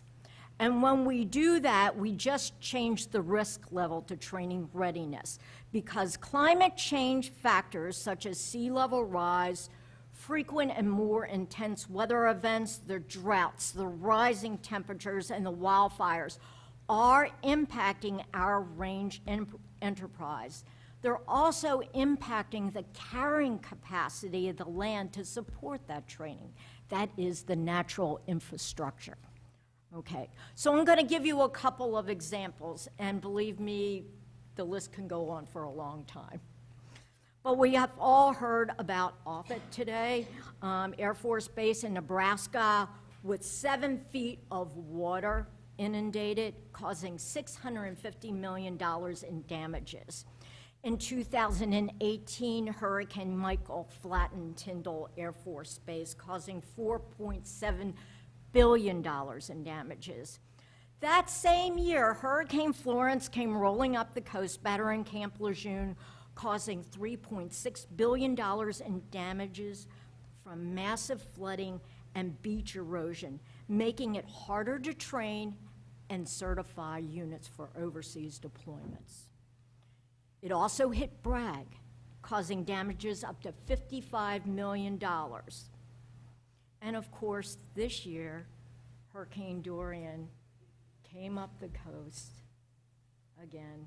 A lot of the installations were spared, but some still had damages. In the spring of 2017, snowmelt in excess of 200% of annual average resulted in heavy spring flooding at Fallon Naval Air Station in Nevada.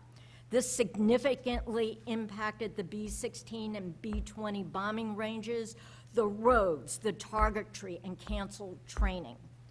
Damages were estimated at $650 million.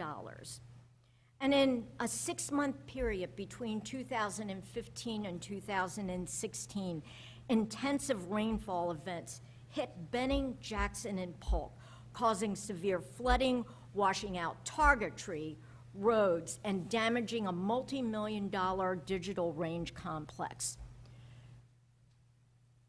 Impacts to training, to say the least, were significant. Total damages at those three installations were estimated at $23.5 million. In Alaska, rising temperatures have increased snowmelt. That resulted in heavy flooding. It damaged extensively the battle area complex at Donnelly Training Area and resulted also in maneuver training areas that weren't usable for months. Thawing permafrost has resulted in loss of access to training areas. And also, it has reduced the number of months that land can be used, maneuver land can be used to support heavy maneuver training. So then we have wildfires. Wildfires in the west have, and in Alaska as well, have resulted in loss of training days, restrictions to live fire training, as well as aviation. Sea level rise has also in recent years taken its toll on Camp Pendleton, which has seen a documented progressive loss of the beach impacting their amphibious training exercises. You know, the repair of ranges and training lands doesn't happen overnight. And when exercises and events are delayed or canceled, there's a cascading impact as the services struggle to find acceptable solutions. Sometimes those solutions are workarounds, and not all workarounds are acceptable. So these are just a few examples, and I could go on. And some of them, you know, haven't reached CNN or ABC News, but those impacts are out there and they're impacting training now. We don't have to sit here and say, what if? It is now. So business has changed. It is not the same. And as a former program manager for 7 million acres of maneuver training land for the Army, I can tell you, I have never seen such devastation as I have in the last seven years. It is, to me, staggering. So these are just a few examples. It's impacting our ability to train and to support our training requirements. The trend line is shifting with an environment that is more conducive to wildfires, droughts, followed by intensive rain that causes temporary and prolonged loss of available training land. Erosion will get worse. Let's face it, heavy maneuver training is inherently damaging to the land. You couple that with intense storms, and you're going to get more erosion and loss of land for training. That is going to impact readiness. So, what I can tell you is this climate change is now part of the equation. It is part of the equation when we look at the service's range capability, both in terms of their infrastructure, their personnel, their training lands, their airspace, and how we can train to doctrinal standard. Climate change multiplies the risk of compromising training readiness. So what can we do? Well, the plan that we have that they're going to speak about in the next panel lays out some good things. But I can tell you, we not only need to understand the full risk and vulnerabilities, but also to our range enterprise, but also to the natural infrastructure and how the land is going to respond to climate change conditions now and over time. So, we don't have the luxury to wait, so action is required now. Thank you. Thanks, Jim.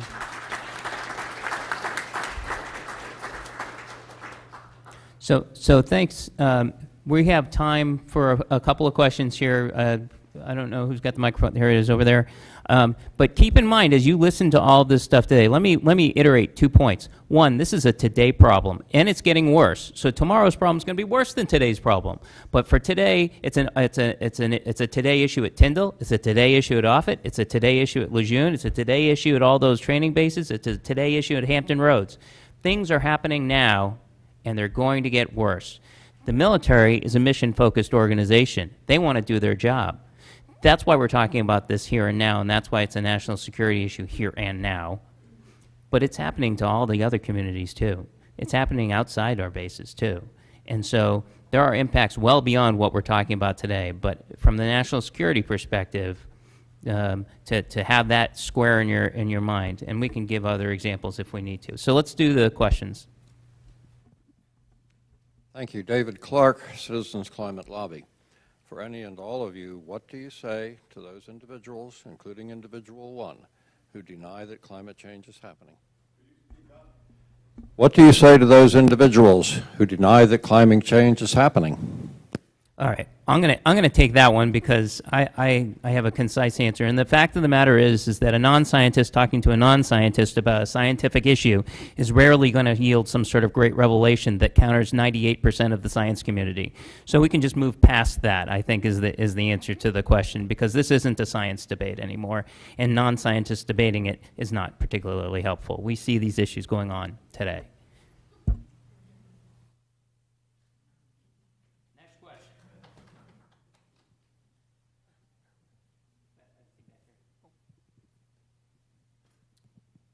Thank you. From Congressman Jared Huffman's office, In comparison to other powers like China and Russia, is the United States military uniquely vulnerable to the impacts of climate change, whether due to its particular geography, a basing strategy, location, or other factors? That's a great question. Who wants to take it?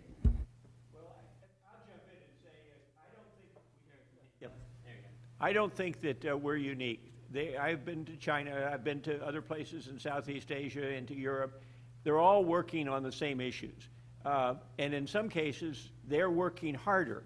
Uh, the Chinese are trying to uh, uh, come up with ways to deal with climate change. They're trying to come up with ways to adapt to the, the uh, same problems they have of sea level rise and coastal surges. Uh, they're, they're seeing massive dam failures, problems with flooding, and they're trying to deal with that. Uh, I think we all are sharing ideas on what can be done.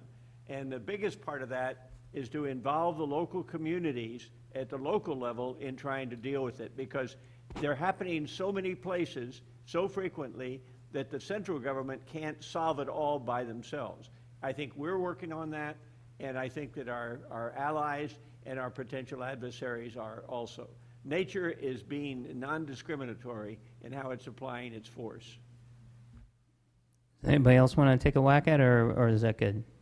Okay, it sounds like that's good. Next, got questions in the back here.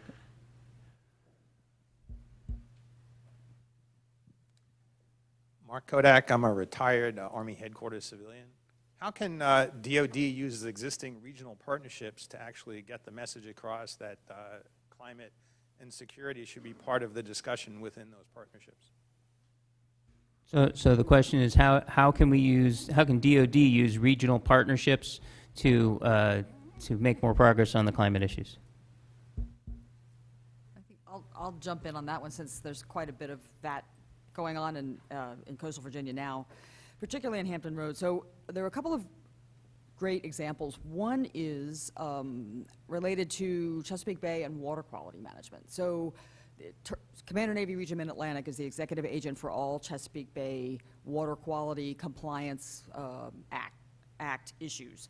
Um, they uh, have recently hosted, and this is done every couple of years, not every year, a, a full commanders conference with every base commander that is in a Chesapeake Bay watershed present, uh, and talking talking about the need to you know, not only comply but to come up with creative and uh, combined kinds of solutions in the context of we're already uh, taking advantage of the funding that they have to make that funding also apply not only with water quality, but also now to try to enhance water management and deal with uh, excessive flooding, recurrent flooding, and other kinds of challenges. So in the context of thinking about a program that's already in existence, um, we've seen actually a lot of excellent activity in this regard, and it's a way to talk about a problem without directly tying it to something that's at conflict with the administration. So, in addition to that, uh, I think what we're seeing at, at least at a regional level, is more and more interest in the facilities in the context of environmental resilience and building environmental resilience of the facilities working with their community partners to try to ensure not only they have base-wide resilience, but that that base-wide resilience includes uh, thinking about the challenges that the environment is creating for that circumstance. So in Hampton Roads is one example. The city of Hampton is working with Joint Base Lang- Langley Eustis, particularly the Langley side, which is what's in uh, the confines of their city boundaries, to help the base prepare for the circumstance where it might need to move its runway inland some to prevent flooding that now impacts the runway. So the city and the base have been collaborating on this effort for years. They have finished a joint land use study. There are a number of actions in that joint land use study that the city and the base have agreed they think is important, and they are starting to take action on some of those particular um, outcomes. Planning to relocate gates, as one example. And, and so this is a tremendous example of a community partnership with a federal facility where they're thinking together and they've been working together because they built up this timeline of a long-standing partnership. Similar circumstances with Newport News and, and Fort Eustis. We're starting to see more and more of this type of collaboration in the southern, south side of Hampton Roads, which is Chesapeake, Norfolk, Virginia Beach. Uh, also, I would say, another shout out to the joint land use study process, caused by and facilitated by joint land use studies, because you've got the military and the communities in the room together with stakeholders, with utilities, with other infrastructure providers, and stakeholders in the region, and they're all talking about what their challenges are, and they're getting a much better opportunity for a shared understanding of what the problems are, how to prioritize those problems, and to start to seek solutions. So, of course, the biggest issue is going to be funding. How do we get funding to plan? And then how, once we have that plan in place, how do we build over time? But the opportunity for creative outcomes really gets back to some of Dr. Teicher's work is if you have an ability to seek solutions within the context of where you are, uh, and you have a common goal, then you're able to move forward and make progress. And we're, we're starting to see that. I think I'm heartened to see that uh, starting to take place in coastal Virginia. Let me One make example. a quick hit on, uh, follow-up on that. Uh, I think another good example is Tyndall. Uh, Tyndall is holding a series of uh, meetings with the local community, uh, and what the goal is, is not to restore Tyndall to its former glory, but to build it like it should be, considering all of the environmental concerns that we have now. And uh, they're bringing in all the community elements, the regional elements to do that. And I will say one thing about the climate lobby, keep doing what you're doing. You guys are having an impact, so keep at it. All right, I think we have time for one more question. So uh, with the microphone back there, you're going to have to pick and pick who your best friend is and who's not going to who's going to resent you afterwards. Hi. Could you shed some light on some of the geopolitical concerns with Arctic ice melt? Geopolitical with Arctic ice melt. Anybody want to talk about great power competition in the Arctic?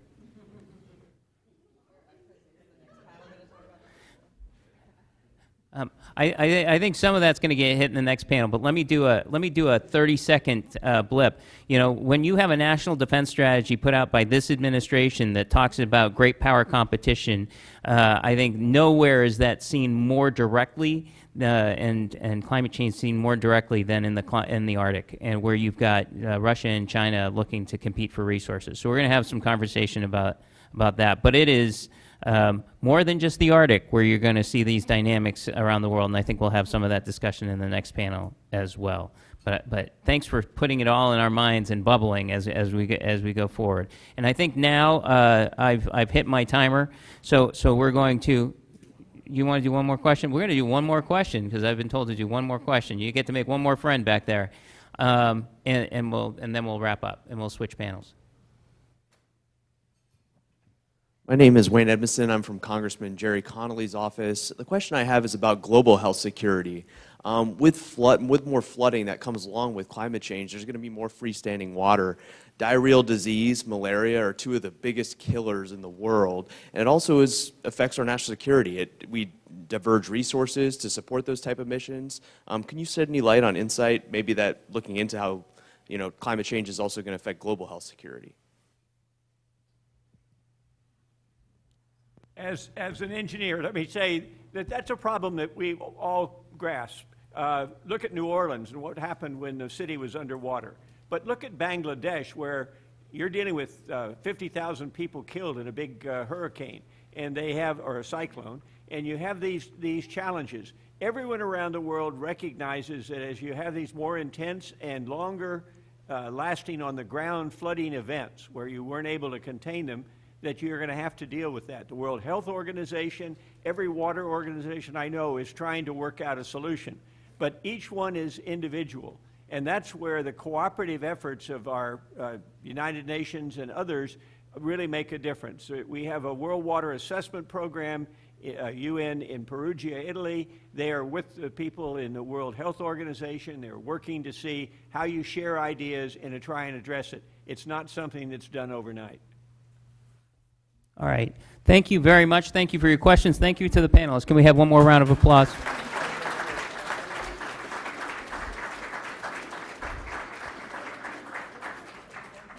I, I, th- I think that as the second panel comes up, we're going to have uh, Caitlin. You're going to talk about the fellows program, and all right. All right. Thank you, guys. We're going to start off on uh, our second panel of the day. So, thank you for spending your morning with us to talk about climate change and, and national security. Uh, This panel is going to discuss the release of the latest report by the Climate and Security Advisory Group, uh, a climate security plan for America. Um, But in addition to this report, I'd also like to draw your attention to another report that was released today by the Climate and Security Advisory Group's fellowship program. Uh, This is a group of distinguished uh, up-and-coming climate and security professionals that have met uh, once a month uh, for the last year to, to talk about climate and security. And this uh, report, you can find it at the climateandsecurity.org forward slash CSAG fellowship. Um, the CSAG fellowship program is also currently accepting applications for its second class. It's a very much a, a community-wide collaborative fellowship program. The Center for Climate Security works in partnership with the American Security Project and Woodrow Wilson's Environmental Change and Security Program to host uh, this program, and we're very excited about it. And it's managed by Esther Babson, who just does amazing work. So if you or anyone you know is interested in um, applying to the, the next year of the fellowship program, please be sure to check out the report and the application online. That's climateandsecurity.org forward slash CSAG fellowship. I see some of the fellows here too, by the way. Yeah, so if you want to, yeah. You can't hide. okay. Great. Um, and now I'd like to turn the panel over to Francesco Femia, uh, who's moderating the second panel, which again is focused on the Climate and Security Plan for America. Francesco Femia is the CEO of the Council on Strategic Risks. He's the co-founder of the Center for Climate and Security. He's the manager and senior advisor of the International Military Council on Climate Security. At CSR, he oversees uh, all the programs, including the Center for Climate Security's work, the Converging Risk Labs, and the Council, uh, the Center on Strategic Risks. Um, he's published extensively on the security implications of climate change and natural disaster and uh, water, uh, resource mismanagement in Syria and North Africa, including the report, a seminal report, 2012, on um, the Arab Spring and climate change. He's a frequent commentator on how the defense and national security intelligence communities are managing the security implications of, of climate change. So without further ado, I'll let you take the floor away. Thanks very much, Caitlin. Um, I will say, full disclosure, Caitlin and I are married, so she's she's she's a little bit biased. So I don't know, biased positively or negatively, I don't know, but um, but I, I, appreciate that. Um, so uh, first of all, thanks to everyone, and thanks to our distinguished panel. I was just telling Admiral McGinn that who was who was saying, you know, this is a well-organized event, that it would really not be any kind of event at all without without them. And so we're really honored to have uh, uh, this panel with us and the previous panel with us. Uh, they've all been incredibly um, uh, helpful in really developing a set of recommendations that we have in this climate security plan today. The Climate Security Plan for America um, essentially calls on the U.S. President to recognize climate change as a vital national security threat. Uh, and that, that, that word wasn't chosen lightly. Uh, and to lead by issuing a national strategy. Um, uh, to fulfill what we call a responsibility to prepare for and prevent that threat. And that means both preparing for those risks that are already baked into the system based on the climatic changes that we will see no matter what we do at this point, but also preventing uh, some of the more catastrophic consequences that we could see, uh, you know, out into the future. And so, uh, which really involves reducing the scale and the scope of climate change uh, by reducing emissions. So both of those things are critical to this plan. The top recommendation is that the President issue a national strategy directive, which would be sort of a new type of directive, uh, creating a climate security plan for America and to establish a White House office on climate security uh, led by a senior uh, official reporting directly to the President to implement a major government-wide effort to address the issue in all its security dimensions. Uh, of course, this, this plan is aimed at the President of the United States, it could be this President, could be the next president. Um, but I think what we uh, make clear in this report is that uh, this, this has to happen very soon uh, if, we're if we're going to stave off some of the worst security consequences that, uh, that, that we might see. Um, the plan's endorsed by an extraordinary group of 64 senior military, national security, and intelligence leaders, including eight retired four-star generals and admirals, 30 senior military officers retired, a former NASA administrator, a past chair of the National Intelligence Council, the former climate lead at the National Intelligence Council, who's, who's, who's here to my left, and a number of former assistant secretaries and deputy undersecretaries of defense, um, three of whom are on this, uh, on this panel, and many others. Um, so I, talk, I, I mentioned that um, uh, essentially to, to say that you know, there, there are a lot of uh, recommendations out there for how we deal with the climate crisis. A lot of them have a lot of merit. Uh, here's a plan uh, that is being proposed by a set of very serious, clear-eyed national security professionals about what we should do. And the plan is quite ambitious and quite bold, and we think it needs to happen uh, soon. Uh, the plan recommends four pillars of action. General Keys mentioned uh, these pillars earlier today. Um, those are demonstrate leadership, number one, assess climate risks, number two, support our allies and our partners uh, in, in dealing with climate risk and also in dealing with a transition uh, to, to a clean energy economy, and also preparing for and preventing climate impacts, which is, a, as, as John mentioned earlier, uh, is a really big part, and as General Keys mentioned earlier, is a really big part of this. Each of our panelists will be addressing one of these categories in particular, though you should feel free to stray into you know, other issues if you'd like. Um, and, and I'm going to introduce them now, um, you know, per these sort of sections. Uh, talking about leadership, I think, is someone who has a lot of experience as a leader in a number of areas, both in the military and also outside of, you know, as former leader of, of ACORE, the American Council on Renewable Energy, and that's Vice Admiral Dennis McGinn. Uh, Denny McGinn is the, the, a member of the Center for Climate Security Advisory Board. He's previously served as Assistant Secretary, uh, Secretary of the Navy for Energy, Installations, and Environment. In that role, he led the transformation of naval installations towards greater mission resiliency through energy efficiency, renewable energy, microgrids, uh, and other technologies. Um, so we're going to be we're going to start with Admiral McGinn. I'll introduce everybody and then we'll and then we'll get started. Um, talking about assessing climate risks is someone who's been doing a lot of assessing uh, in in his career, and that's uh, and that's Rod Schoonover. Um, Rod Schoonover is owner of the Ecological Futures Group. Uh, from 2009 to 2019, um, he was a senior analyst in the Bureau of Intelligence and Research at the Department of State. Before that, he served as Director of Health, Environment, and Natural Resources at the National Intelligence Council. Um, talking about supporting allies and partners, we have the Honorable Sherri Goodman. Sherri Goodman is Senior Strategist at the Center for Climate and Security. She's Chair of the Board of the Council on Strategic Risk, so really, honestly, she's our boss. Um, she's Secretary General of the International Military Council on Climate Security, which she co-chairs with General Tom Middendorp, the former Chief of Defense of the Netherlands. She previously was General Counsel and Corporate Secretary of CNA, where she was recognized for her leadership in creating and leading the CNA Military Advisory Board. Sherri also served as the first Deputy Undersecretary of Defense for Environmental Security. Lastly, uh, but certainly not least, we have uh, the Honorable John Conger, who's going to be talking about the broad suite of issues related to preparing for and preventing climate impacts. John is the director of the Center for Climate Security, the chair of the Center for, for, the uh, Climate and Security Advisory Group. He previously served as the principal deputy undersecretary of defense comptroller at the U.S. Department of Defense, where he oversaw billions of U.S. dollars. And we like to joke that he oversaw you know, a few more dollars there than he is now as director of the Center for, Center for Climate Security, just a few. Um, and uh, he was also the Assistant Secretary of Defense for Energy Installations and Environment, who's basically leading the DoD's approach to climate change. Uh, so that's our panel. Uh, they're a great group of people. We're going to start with Admiral McGinn, who's going to talk about leadership. I'd ask uh, that we elevate our thoughts to 50,000 feet uh, or more and really look at this in the broadest possible context. We're, we're all concerned with uh, all of the aspects of climate change, uh, resilience, mitigation, et cetera. But I want to start by saying this.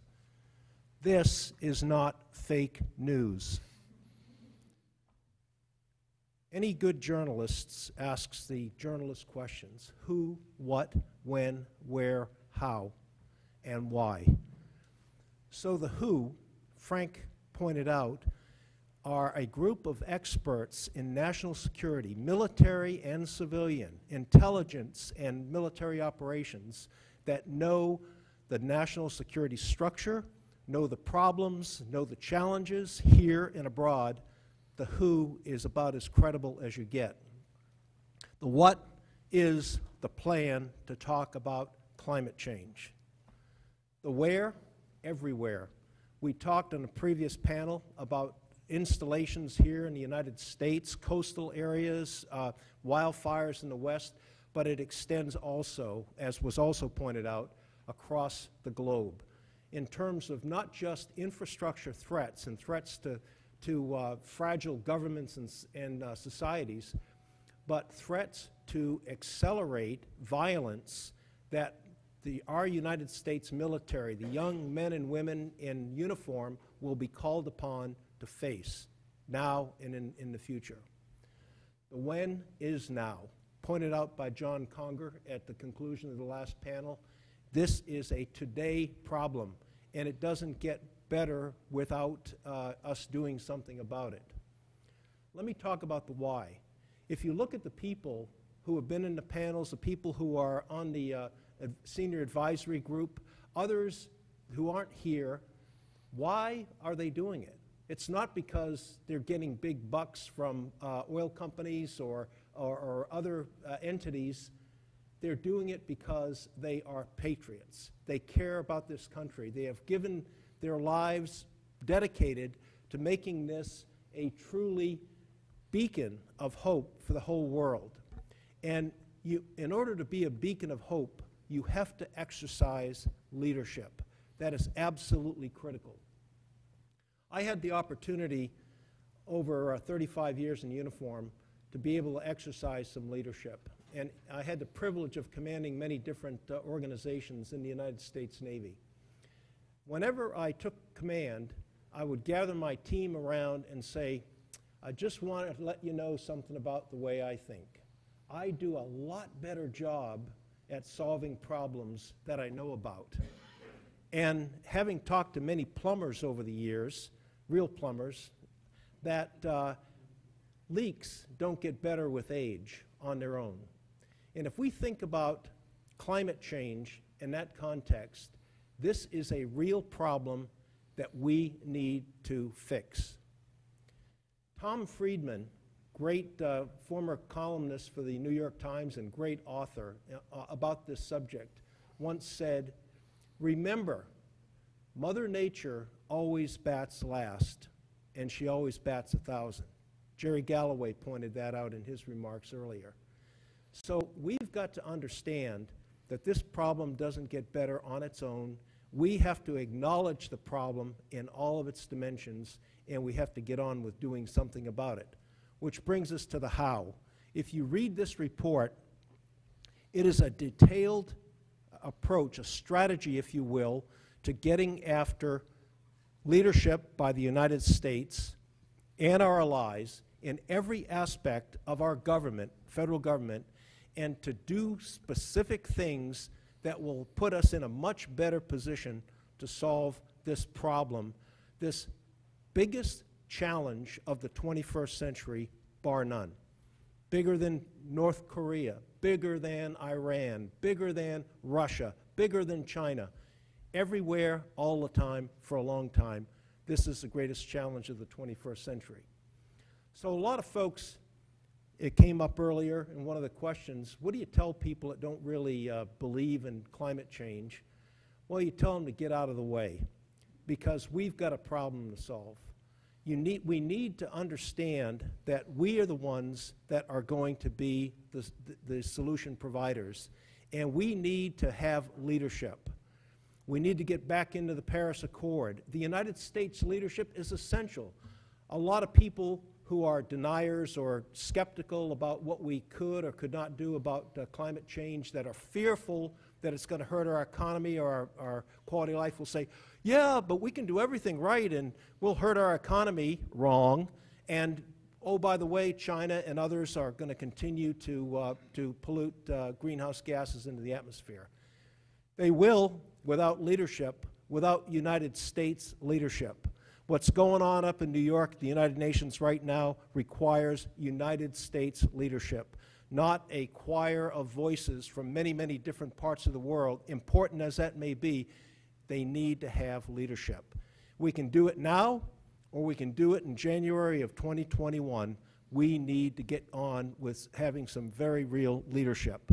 And I'll conclude my remarks by uh, saying that climate change is the greatest challenge of the 21st century for our future national security, economic well-being, international order, and quality of life across the globe.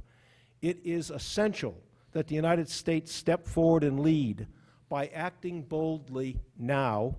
We have the opportunity to transform this tremendous challenge into opportunities for technolo technological advancement, sustainable grow growth, and global coordin- uh, coordination and cooperation. We are the people that are going to solve this. There's an old saying that we are the people we have been waiting for. We are. Nobody else is going to do it for us. We need to do it ourselves.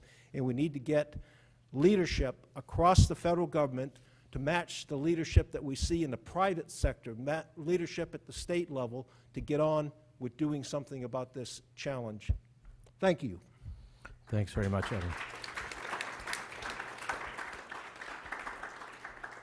So I now want to turn to, to Rod Schoonover, um, and, and, and just quickly to set it up. You know, the intelligence community of which Rod was a part for many years has been warning about climate change risks to security uh, for quite some time across both Republican and Democratic administrations. It's been in the worldwide threat assessment, assessment for the past 11 years, I believe.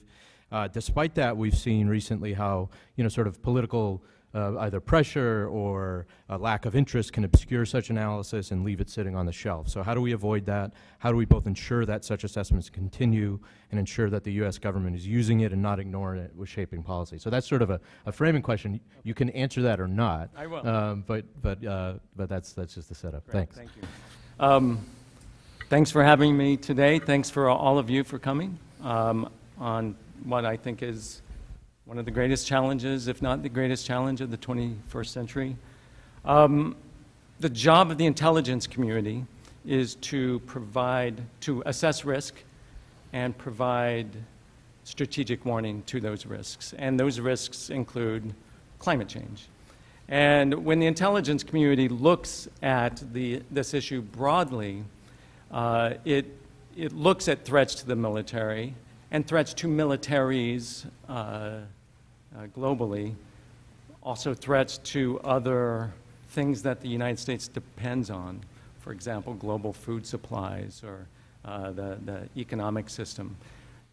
A lot of time is spent studying threats to political stability and social cohesion and mass movement of people and surprises.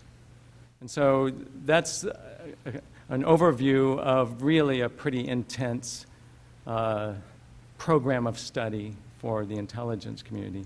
Uh, the, the director of national intelligence um, worldwide threat assessment is essentially drafted without regard to which party is in power. Uh, I watched one being drafted in the run up to the election when the um, when the outcome of that election was not known, and it did not change uh, through that process. And I think it's important to note that the intelligence community is over, overwhelmingly apolitical. Uh, very similar to the scientific community. It's apolitical, it does not have a political agenda. Um, just in terms of um, the framework of climate change, I, I, think an evolution needs to happen. Really, it needs to continue um, in viewing climate change less as an environmental add on to the actual national security issues, but more of a foundational issue of national security. The efforts of this group, uh, this forum, and the people in the audience help further that kind of uh, changing of the framework, but I think it's quite critical. Um, this is actually one of the strengths of this um, Climate Security Action Plan. It, it, it illustrates, it shows the wide-ranging commitment to a more, um, that's needed across the entire national security enterprise uh, to address both the near-term and mid-term challenges that, of locked-in climate change, but also uh, the future trajectory of national security issues. Um, and it probably requires a broadening of what national security the national security enterprise is in the U.S. government. It's probable that we'll have to bring on people from the Department of Agriculture more increasingly, the Department of uh, the NOAA, NASA, into the national security framework as we bring, particularly the scientific components of those institutions. So I I'm, uh, before I became a national security officer, I was a scientist for, and still a scientist for uh, many years. And what is required within the intelligence community is a more robust marrying of the national security analysis with bleeding edge science from you know what I consider to be the finest scientists in the world in our own U.S. federal science agencies, and I mean more than just the climate scientists in NASA and NOAA and uh, and elsewhere, but I also mean the hydrologists, uh, the ecologists, uh, people who study marine geochemistry, uh, because I think most people are are well aware that that climate change affects and the way it affects people will not only be through sea level rise and hot days, but through many, if not most, of the ways that uh, societies and people act. And so I, I, think it's really important to, if you're really looking at threats to regional and global stability, to bring in that more cohesive piece of the U.S. Um, science enterprise. Um, the, uh, uh, the, the president, so, so like a lot of other issues, leadership and the agenda is set from the very top. And so then the intelligence community, because of its role to assess, strategic, to assess risk and strategic warning, uh, continues to work at threats to national security. Uh, it is helped greatly by attention from leadership. And so that means um, president who I think uh, should establish a center uh, inside the Office of the Director of National Intelligence that brings together the expertise that I mentioned from the scientific community, the intelligence community, the larger uh, security community. Um, also need to populate the federal government with people uh, who more fully endorse climate change as, as an issue, a threat.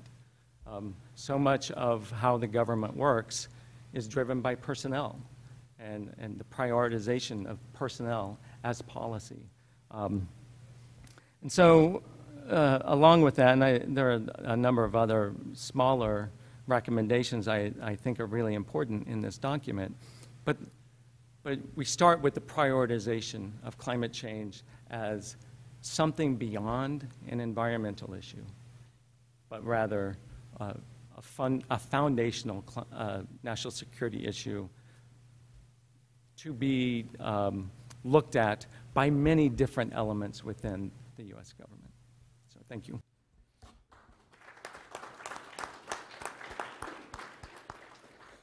Thanks a lot, Rod. Um, turning um, from from analysis to supporting allies and partners, um, Sherri, I wanted to start just with a framing question as well for you.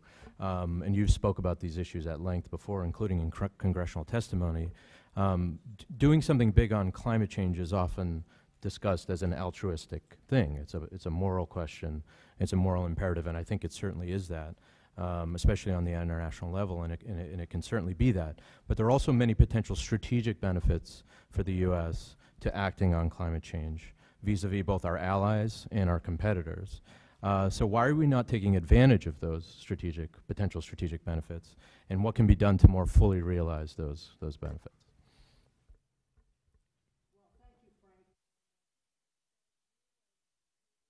And there we go you and Caitlin and John and the CCS team for putting this effort together. I know a lot of work goes into it. Let me thank Carol and the EESI team uh, for your work and leadership here.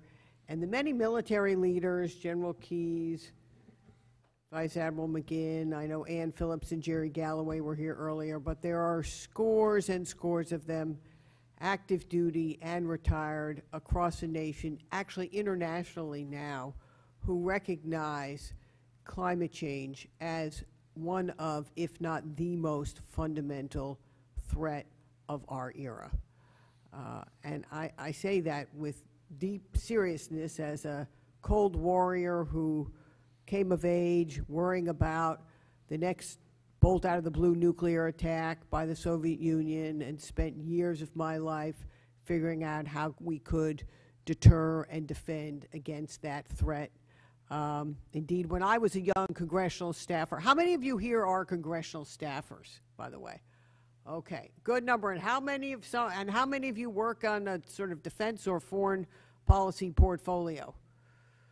Okay, a few.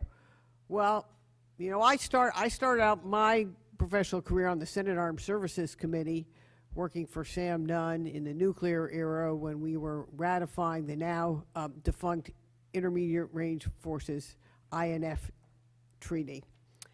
Uh, and we were figuring out how to manage nuclear weapons and, and um, what kind of nuclear arsenal we needed to deter the Soviet Union and others.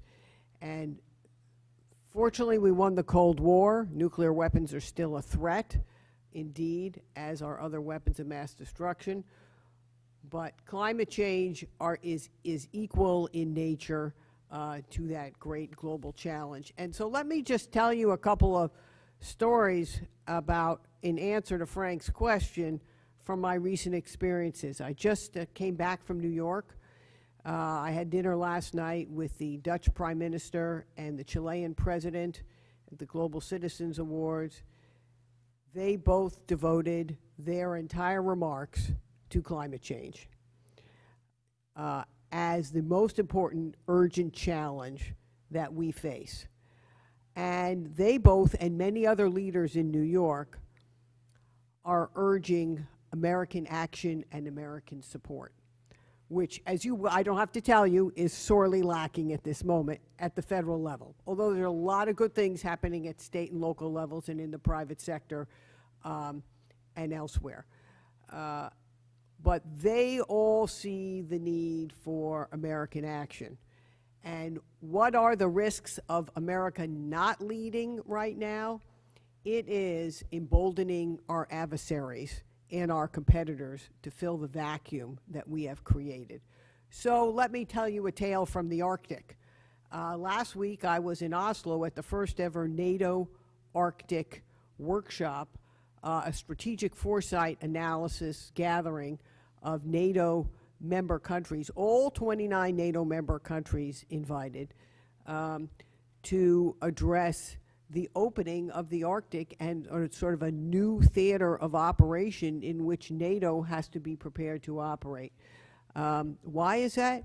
Well, with sea ice retreating uh, at an, an enormously rapid rate, temperatures have already risen several degrees in the Arctic and are on a path to rise uh, twice as fast as uh, the rest of the planet, permafrost uh, collapsing, and extreme weather events beginning to happen um, in, in the Arctic as well.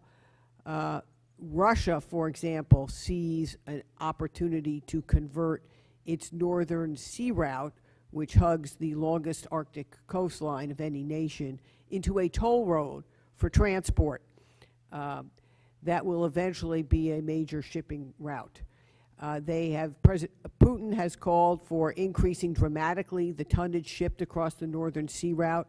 It's already doubled significantly in the last few years. China has declared itself to be a near Arctic stakeholder, whatever that means. There's no legal, uh, there's no legal standing for that term. Um, and they're investing heavily with the Russians uh, at the Yamal uh, energy plant and elsewhere across um, across the Arctic, not only with Russia, but in Iceland, Greenland, in Finland. They're helping build out a data Silk Road. Communications have, are sorely lacking in the Arctic uh, in terms of the domain awareness one needs to have. You know, you can't, you can't go up there and hope to have the same type of cell phone and internet connections that you would have elsewhere in the world. Uh, and as that communications is being built out, China is right there at the center of it today.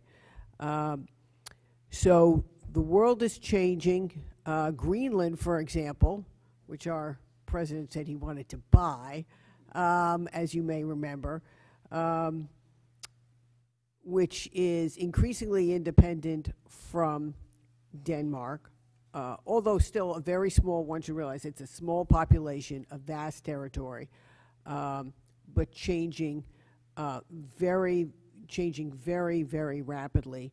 And when you look at a map, you'll see that it's really part of the North American continent, so a vital strategic interest um, to Canada and the United States, and has been uh, for many years. One of my colleagues at the Wilson at the at the Wilson Center was up on the USS Healy uh, in the Arctic uh, this summer, and they were they were prepared, as an example, to to face temperatures of 20 below, and it never dropped below 32 degrees. It never dropped below 32 degrees for the three weeks she was up on the USS Healy um, in the Arctic Circle. Um,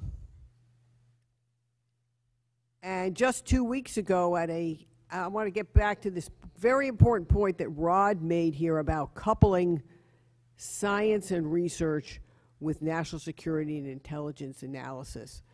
That is fundamental. And for those of you who are in the early phases of your career, I'd say this is the next great frontier in research and analysis. Uh, because the coupling that's needed to make more robust the national security and intelligence analysis depends heavily on the science uh, and translating that science into practical uh, application for national security planners, um, analysts, and programmers. And just a several weeks ago, we, we uh, at a conference called Arctic Futures 2050, to sort of get at this coupling, we looked at a scenario of um, a nuclear shipping accident in the Bering Strait in 2050. Imagine Russia has primarily nuclear powered icebreakers and ice capable vessels. It already has quite a number of them, and it will have even more by 2050. China will be uh, plying the Arctic to bring energy resources back uh, to to provide it provide for um, its own quest for re- for resources. So we we looked at a scenario of a Russian nuclear icebreaker, powered icebreaker colliding with the Chinese liquid natural gas vessel that it was escorting. And what are the consequences? How would we manage it? And what do we need to understand about the science if you were to recognize today that this is possible 20 years in the future? What kind of research should we be doing today to prepare for that future and hopefully prevent it? Now, uh, at the NATO Arctic Summit, I will, I will report to you that our allies and partners across the board uh, want the U.S. back in the climate game at every level, whether it's engaged in the Paris Agreement, whether it's working with them, uh, as we already do on NATO planning, uh, where I'd say, you know, these types of issues are front and center, but it's at every level, particularly in diplomacy. And so let me turn to another uh, region where I think this is also very, very fundamental, and it's among the small allied states, both in the island states, in the Pacific. We have the same situation, the Caribbean areas becoming um, increasingly fragile with climate-fueled risks from drought, uh, then combined with extreme weather events. In the Pacific in particular, we now see China offering more humanitarian assistance and natural disaster relief. Um, when the U.S. isn't always there. Um, and that is, you know, that's important to these nations. Some of them may not exist uh, within a quarter of a century because the seas will rise or they will lack and or they will lack the fresh water to support themselves. Um, so we, are, we have a global migration challenge uh, across the board that is being fueled by climate risks, one that we will, we will need to work very closely with our allies and partners to manage. So um, to sum up this part of it, I would say my, my hopeful news is that uh, militaries around the world, military leaders recognize these risks and have come together in an international military council on climate and security. Um, over 20 of them now, I think we have. Frank, is that right? 28 countries. actually. Yeah, 28 countries from every region of the world, military leaders coming together uh, who want to address the climate risks, work constructively both to assess the risks, provide the leadership, integrate climate security considerations into national security planning, and raise uh, the attention of it among global policymakers. Thank you.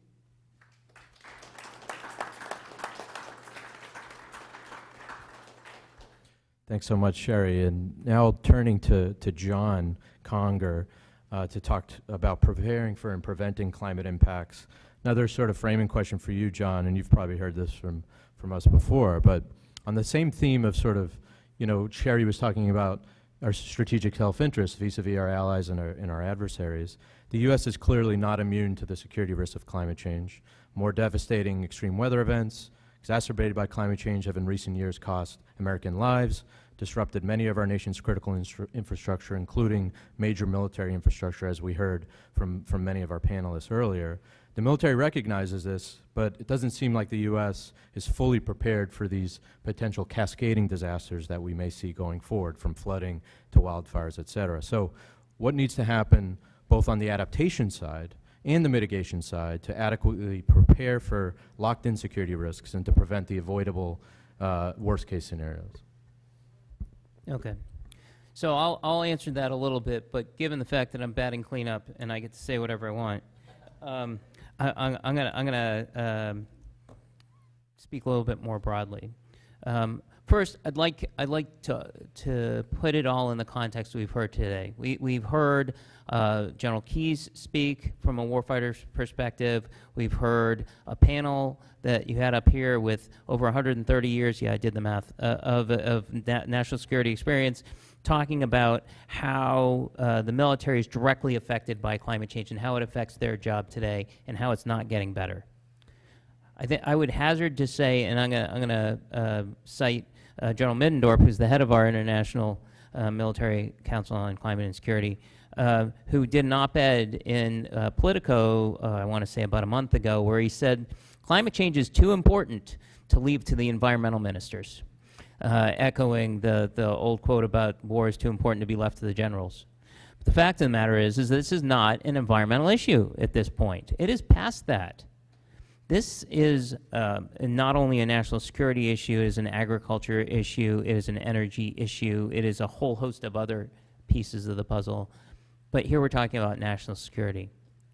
And this issue is affecting our national security today. And so we have a responsibility to prepare in the U.S. military for what's coming. Nobody wants to be willfully blind to a problem. Nobody wants to be uh, willfully ignorant and stick your head in the sand. Well, maybe some people do, but the point is, is that they oughtn't be, and the military doesn't want to be. They don't always have the resources to do everything they need to do. Um, but but that looking at it, knowing full well, clear-eyed, the problem is coming. You have to start taking actions. Now, let me give a compliment or two to the current administration. You know, President Trump signed a bill passed by a Republican Congress in 2017 that said that climate change is a direct threat to the national security of the United States. Hey, good job. I mean, that was important to do. This, the Republicans, when the Republicans were the majority here in 2018, they passed a whole host of sensible, pragmatic climate resilience legislation. It was important to do. They're setting the groundwork. This Congress, frankly, both in the House and the Senate, has continued to pass important legislation, moving the ball forward. But there's only so much you can do without White House active support. I think it was an important decision by the White House not to support an adversarial panel in the National Security Council to look and extricate uh, climate from national security documents. That was under active consideration. They decided not to do it. There's pushback from the DoD and from the intelligence community. So that's good. But active support is different from not doing harm, right? First, do no harm. First, don't be stupid, okay? Now let's move forward and get some things done. So this report literally has dozens of recommendations about how to move forward, okay? The progress that we've made is important. The progress to come is, is also important.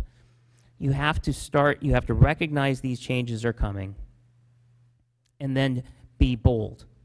So in this report, we talk about a climate security infrastructure initiative to actually spend money on resilience efforts within DoD, within the national security community. We have a trillion dollars worth of infrastructure at DoD, a trillion dollars worth of infrastructure, and a lot of it's vulnerable. A lot of it's old.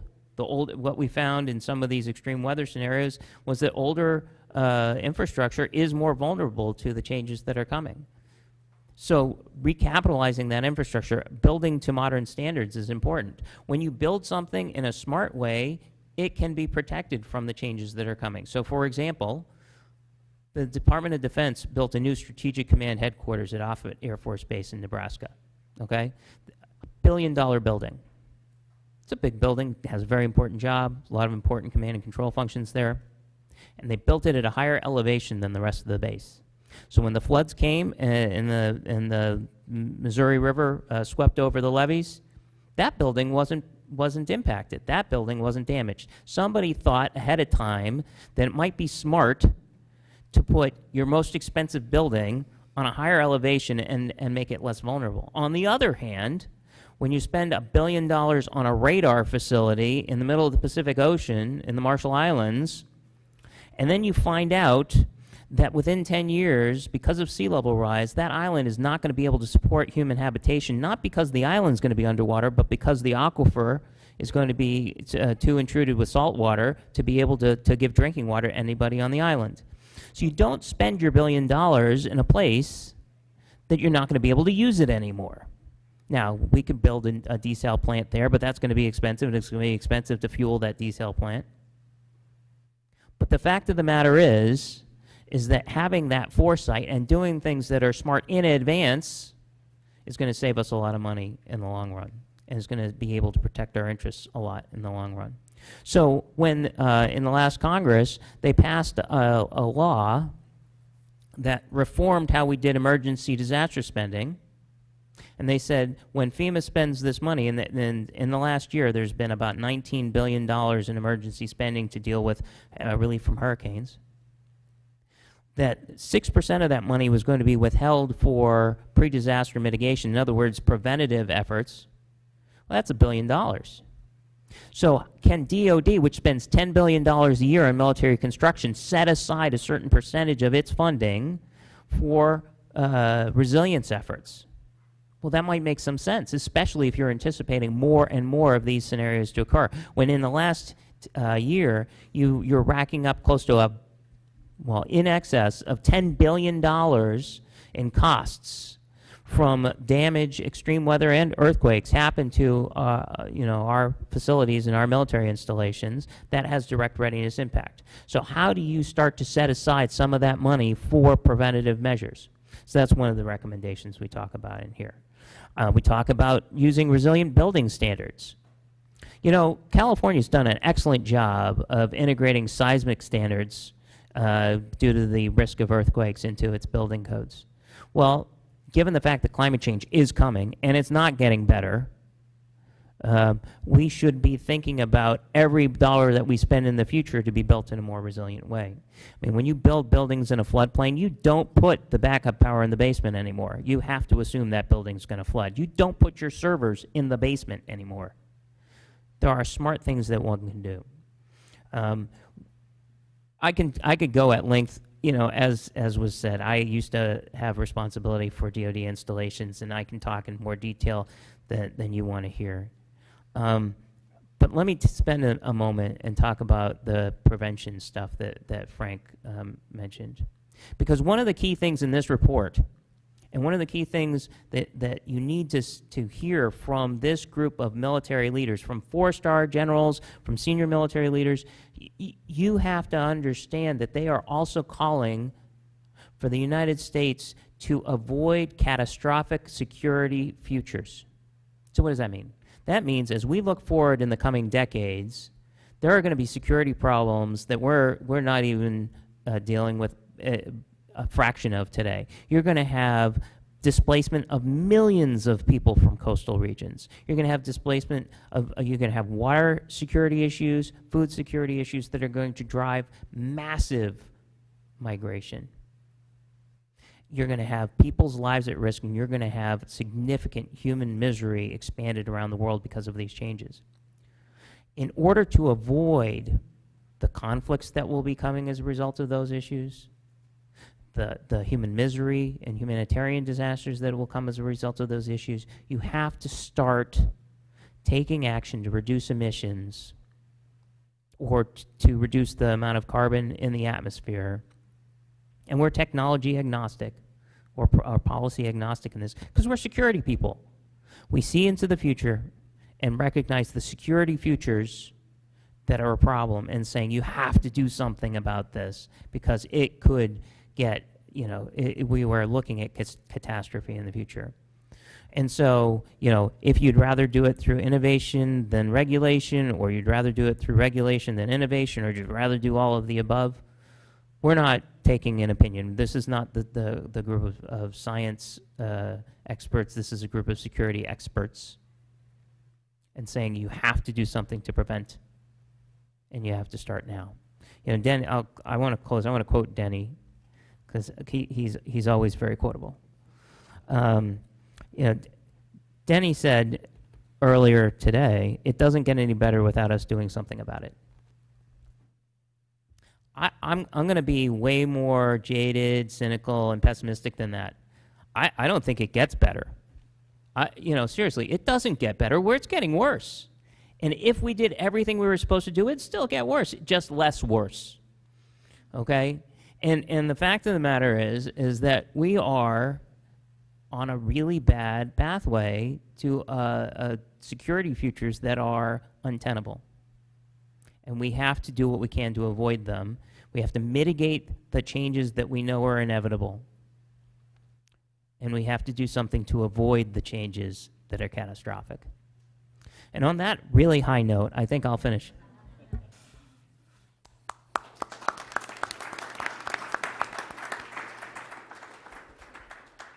Thanks so much, John. And, and as I was looking um, through the, the bios of, of, of all today's speakers earlier, um, uh, I noticed that across the two panels, there were two and a quarter centuries worth of experience in the security community. Um, that's not a commentary on anyone's age, by the way. So um, it's collectively all together. But uh, I emphasize that just to underline John's point that you know here is a is a group, and, and there are 64 uh, senior military, national security, also intelligence leaders that have signed on to this report. Uh, so it goes beyond the military space. But and I, I haven't totaled up, you know, the years of experience in that in that group of 64. But here's a group of people with with uh, a deep, deep well of experience in, in the security space, who's who's warning us, as John has uh, just has just warned us, of potentially catastrophic. Uh, climate futures for our security, and uh, and that we need to do something bold about it. So I think uh, I think that means something, and that means something important. And, and I just, I, I want to go to the, the floor now uh, for, for questions. We have uh, about, you know, 20, 25 minutes, half an hour. Uh, Admiral McGinn, I know you have to go a little bit early, so if you see Admiral McGinn leaving, it's not because he's bored or uh, doesn't want to take your questions. He, he has to go to a very important meeting after this, but um, why don't we start with questions? Okay, so, let me see, in the back, all the way in the back.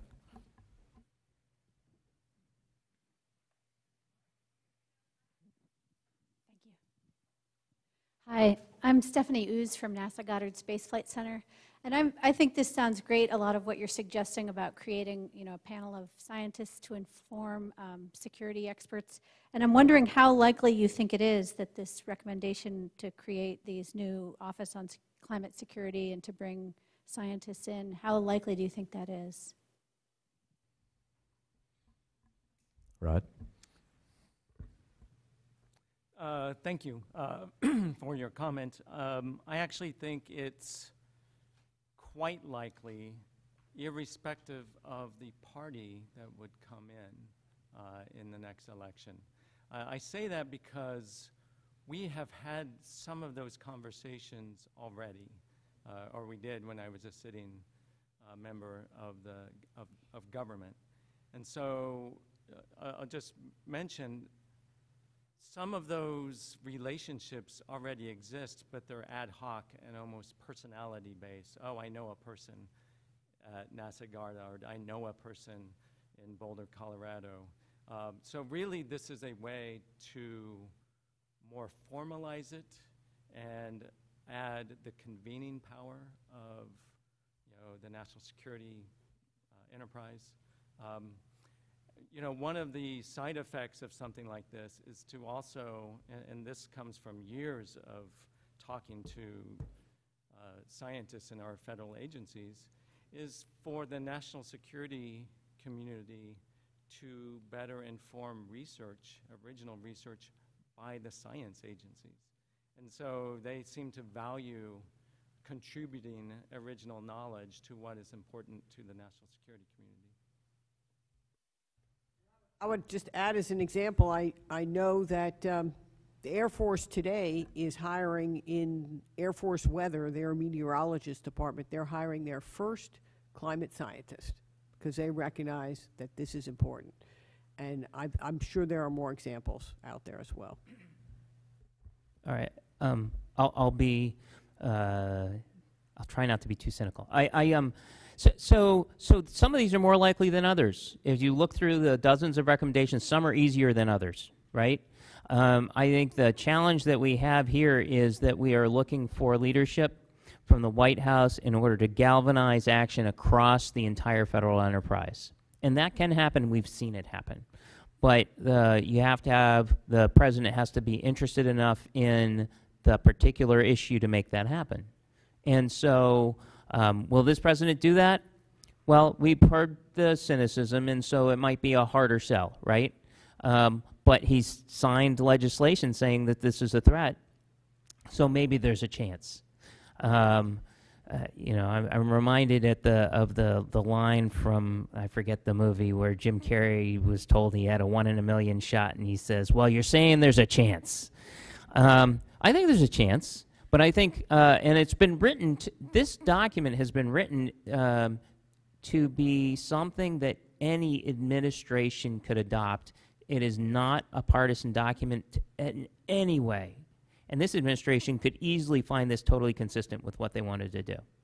Um, it's just a question of, uh, you know, uh, whether it's uh, high enough on their priority list to make it happen.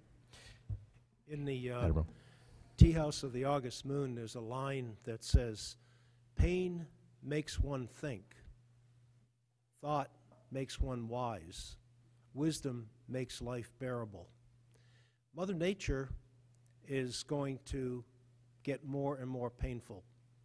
So we can decide what we can do to prevent that to the extent that we can and to be more resilient in the face of that pain caused not just in the United States, but around the world.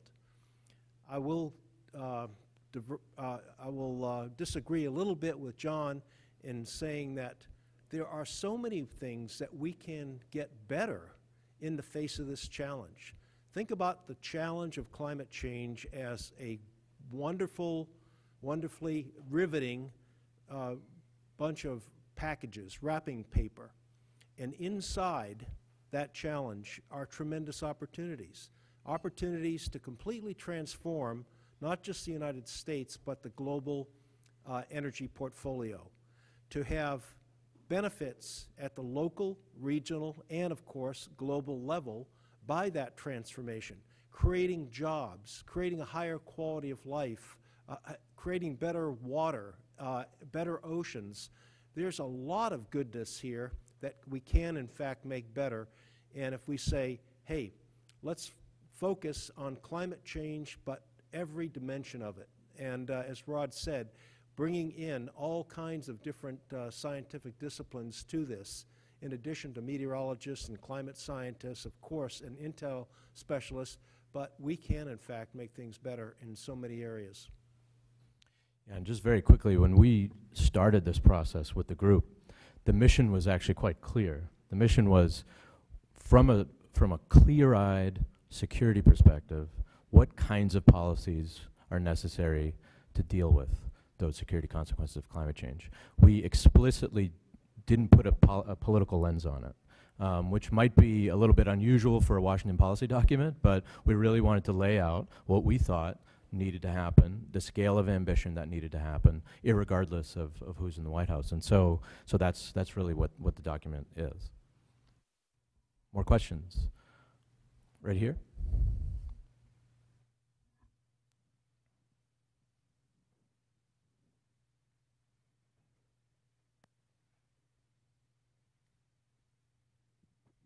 Anna McGinn with EESI. Sorry to steal the floor since we're one of the sponsors, but um, you've alluded to this um, a little bit, but I want to draw it out a little bit more. Um, there's been a lot of talk about decarbonizing the economy, different sectors, and increasingly conversation about sectors that are really tough to decarbonize. And I'm well aware that the military is one of those. But I'm wondering to what extent the report addresses decarbonization or mitigation, decreasing greenhouse gas emissions, um, and whether or not it does address it, any opinions you all have on that would be great.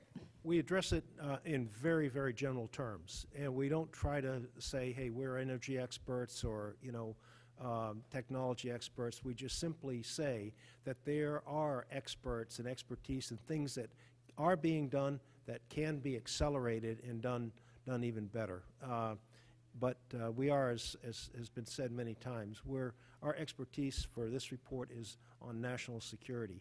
But clearly, uh, there are so many opportunities out there that uh, lie in the, uh, in the energy portfolio area, let, let's say energy efficiency, et cetera, that, we, that are in fact underway to an extent.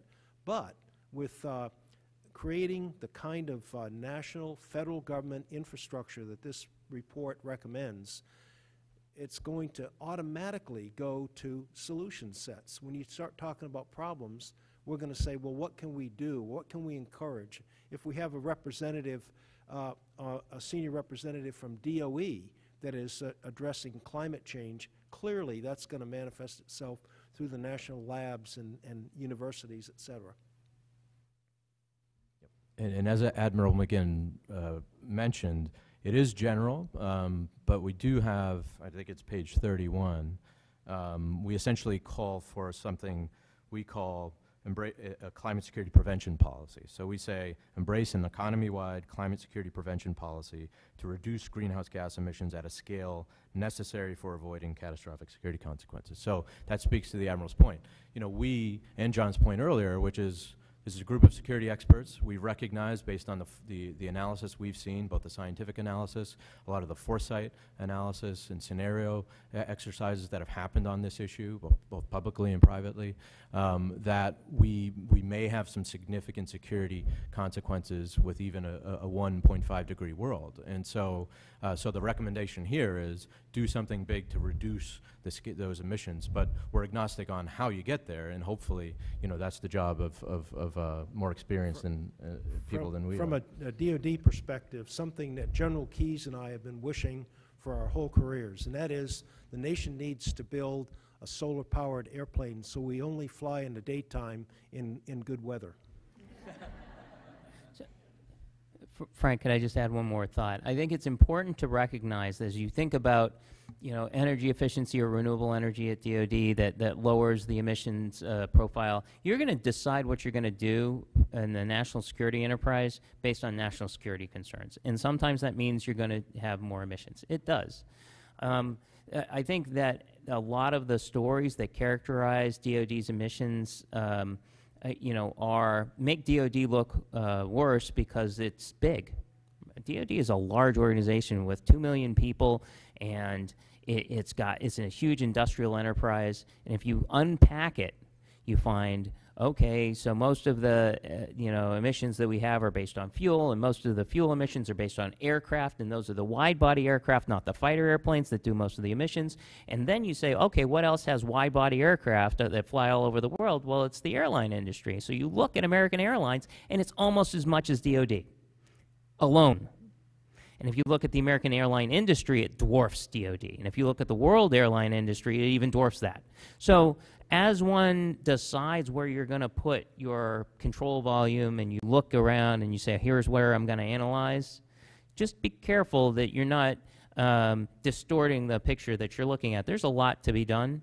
But when you're dealing with 1 to 2% of American emissions and then America is 15% of the world, you're only going to have so much impact if you focus on DoD emissions. You should look everywhere, by all means. Individual action is important, um, but but be aware what your effect is for what the uh, what you're pushing for. Okay, where's the microphone? Oh, here we are. Um, right, uh, right over here on the corner, Michael.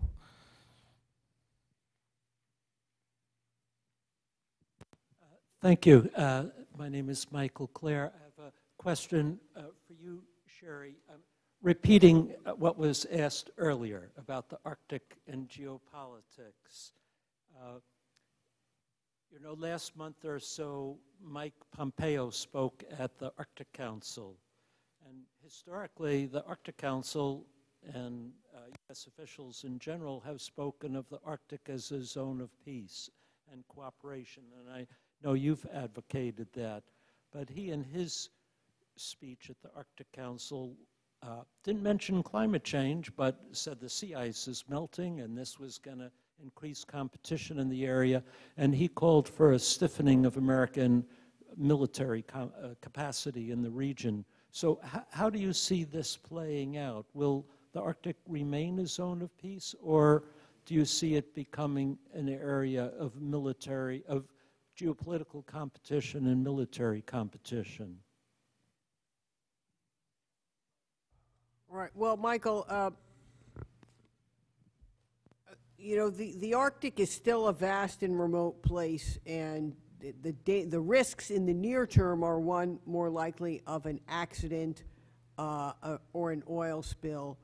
Um, and the hope is that miscalculation or lack of transparency about the situation will enable forces, first responders to work together.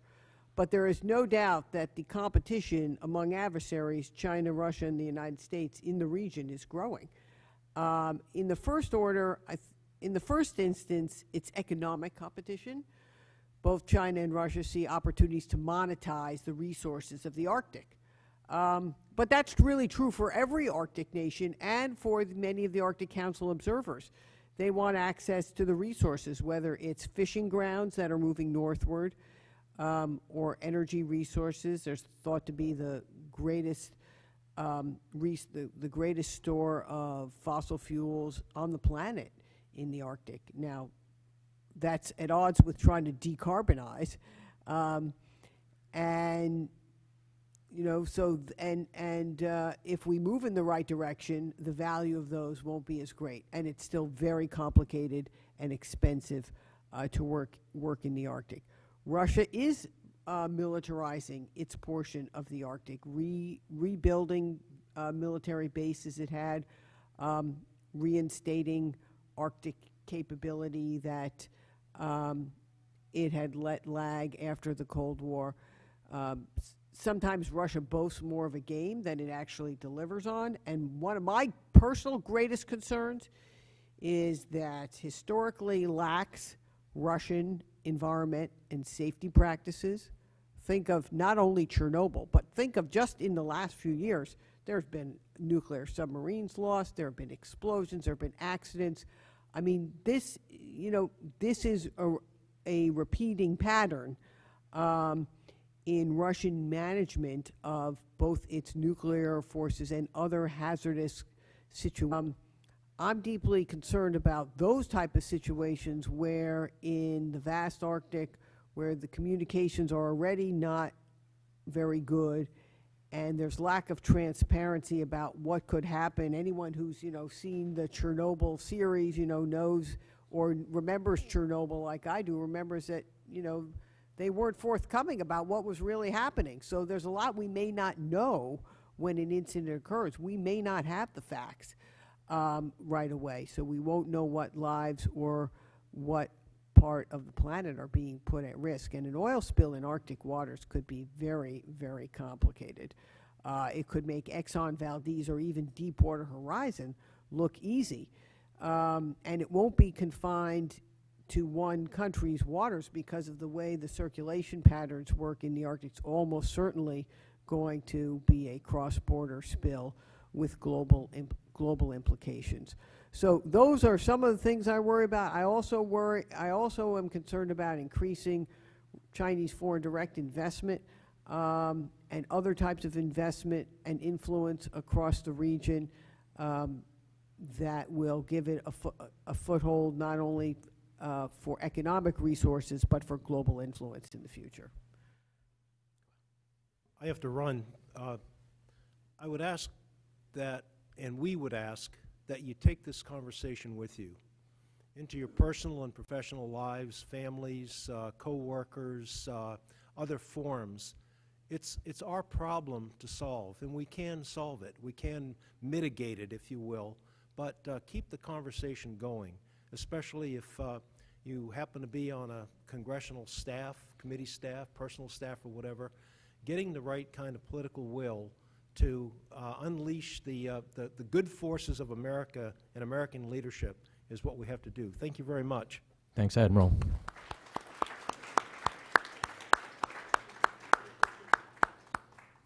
Also, I want to say, because Michael won't say it, um, he just published a book, All Hell Breaking Loose, um, the Pentagon's perspective on climate change. So uh, if you have a chance, uh, take a look at that. We can take more questions.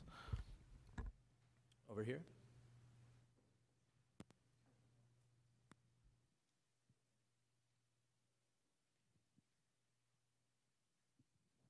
Uh, Thank you very much for being here. Uh, my name is Jessie. I work for Abigail Spanberger. And um, this is a top priority for her, and I really appreciate the report that outlines recommendations, but it all is directed at the executive branch. And um, some of it aligns with legislation that's being discussed here, particularly around uh, more information that DNI can put together on the security risks associated with climate. But I'm wondering either if you can directly send to me or circulate more broadly uh, congressional recommendations that people here today can act on. Um, and uh, yeah, and if you have legislation that's already being discussed, like endorsements or positions of those, that would also be very useful. Thank you. And in line with bringing it into my day job, that would be perfect.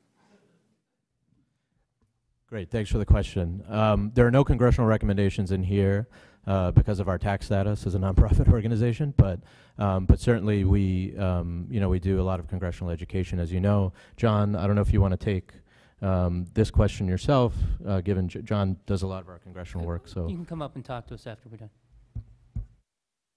Yeah, Jesse, let me just say, I, I, you know, I, I know Congressman Spanberger well, testified before her at Foreign Affairs. I think what she's, what she and the other um, leading freshman national security um, Congress men and women, particularly the women, are doing are great. I love the women of the, the five women in the Service First Women's Victory Fund. They're they're killing it um, in really good ways. That's you know changing leadership in our country. Um, and you know all of these types of recommendations can be converted into congressional direction, and that's um, so. There's an opportunity to follow up and, and make things make things happen. Yeah, I'll say anything that the administration can do, Congress can tell them to do. Yeah, and, and also just for informational purposes, I mean, there is a, a, a piece of legislation, I think, uh, in, in progress right now um, related to climate and intelligence assessments that I believe has some pretty strong bipartisan support. Um, I think it was introduced by Congressman Heck, and so um, there's stuff like that and that's happening at the moment. Um, but as Sherri said, you know, there, can, there could be a lot more, and these can be converted. Um, why don't we take a couple questions at a time? Um, we still have about 10, 15 minutes, so um, so we have a lot of time for everybody. We have here Mark, and then uh, and then the the hand to the left there. Why don't we take two questions and then go from there? So I'm Mark Kodak, a retired Army headquarters civilian. So my question is mostly to John. I, well, Sherri might be able to also answer this. So while the, the plan talks about the supply chain in the context of critical infrastructure support, what about the defense industrial base and equipment? So there are tens or not hundreds of thousands of suppliers who make equipment for the Department of Defense. And, particularly within a defense industrial base, presumably that's the most important piece. Climate change can affect them, and they're all over the place. They're not just in the United States, they're also outside the United States. How do we sort of bring, how do we get DoD to sort of bring them into the conversation about vulnerabilities? Because if, even if you can get it from a transportation standpoint to you, if they can't make it because of energy or uh, water disruptions locally, that's going to affect the ability of DoD, not necessarily immediately because they may have uh, supplies elsewhere, but over the longer term, there may be some critical holes in what we can produce in order to be able to give soldiers, airmen, and Marines sort of the equipment and make sure that it works when they need it. Thanks, Mark. Hi, my name is Michael Ellis. I'm in training around Ken's office. So we've talked about doing a lot of things, and to do all those things, we need people to do them. Do we have people with the education and the skills to do them, or at a minimum, do we have the types of institutions that can train those people up? And if we don't, how does DoD fit into that solution? Thanks. You John, do you want to take? Yeah, I mean, there. All right. You can take There- either There's one. a recommendation in in on training on here, on training uh, installation folks and other folks on, on climate change. So, so that, we didn't, we didn't lose that. Um, We we are cognizant of the fact that, that those programs need to occur. On the supply chain stuff, um, yes, it's a big problem. The question is how, how wide do we draw this? Do we talk about the defense industry? Not especially in here, but obviously the defense industry has an impact on, the on the, the military. Um, I think that as you look at the international supply chain in particular, it's not just you know water shortfalls and such, but the possible uh, instability in certain parts of the world where we get you know potentially get critical parts. Uh, even if they're not adversaries, adversaries uh, they might be allies, but that um, instability in certain parts of the world due to climate stresses might undermine our ability to, to, to continue to get those uh, critical materials or, cri- or critical supply chain elements. So, uh, yeah, we, we have to look at that uh, more broadly. Thank you for the research and work that you've been doing, not only in your career in federal service, but since then. Uh, It's, it's, ter- it's terrific, and uh, thank you for highlighting the supply chain vulnerabilities from climate change of the defense industrial base. I think it's an under-examined area. Uh, I think there's room for congressional direction to DOD to examine those supply chain risks. Um, because it, it's, it, to me, it's a bit like the concern a few years ago about vulnerabilities to rare earth, um, rare earth uh, minerals, that, you know, we would face a supply chain risk because we only had one or two sources and maybe some of them were in China. Well, we have some of the same problems here. We, we're sourcing materials from China or from i- parts of India that are consistently flooded or parts of the Philippines or Vietnam um, and multiple conflict and environmental stressors. And it, it should be, i- it's worthy of, of deeper examination. Thanks. And on the question of um, are there people with experience that can help do these things that we, we asked for in the report? Um, well, first of all, I can think about I can think of 64 off the top of my head uh, that might be good who signed this report that that could have some experience moving some of this. But honestly, I think um, over the past, I mean, for example, I mean, the Department of Defense uh, started thinking about environmental security um, with Sherri's leadership in the 90s very seriously um, back then. I'm starting in I think 1993 when when you when you joined the department, um, and then also had started looking really started looking seriously at climate change in the latter half of the George W. Bush administration. And so I think there's quite a bit of knowledge uh, within the Department of Defense, certainly within you know also some of the other departments and agencies and the science agencies. Uh, they just need to be channeled, and uh, and I think there are people that could easily rise uh, to the level of of some of the positions in institutions that we're talking about in this in this uh, in this report. Um, honestly, I don't think it would be that hard to find people. Um, if the structures were in place, I think something like this could happen very quickly and with the expertise that's, that was necessary.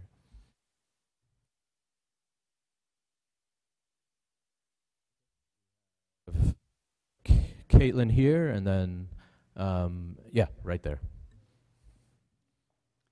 Hi, I'm Joseph Cavaretta. I'm on the EESI board. My question is something that Sherri referred to, uh, the arms race. If you look at this from the perspective of an arms race, how do our climate security initiatives stack up against what China and Russia are doing?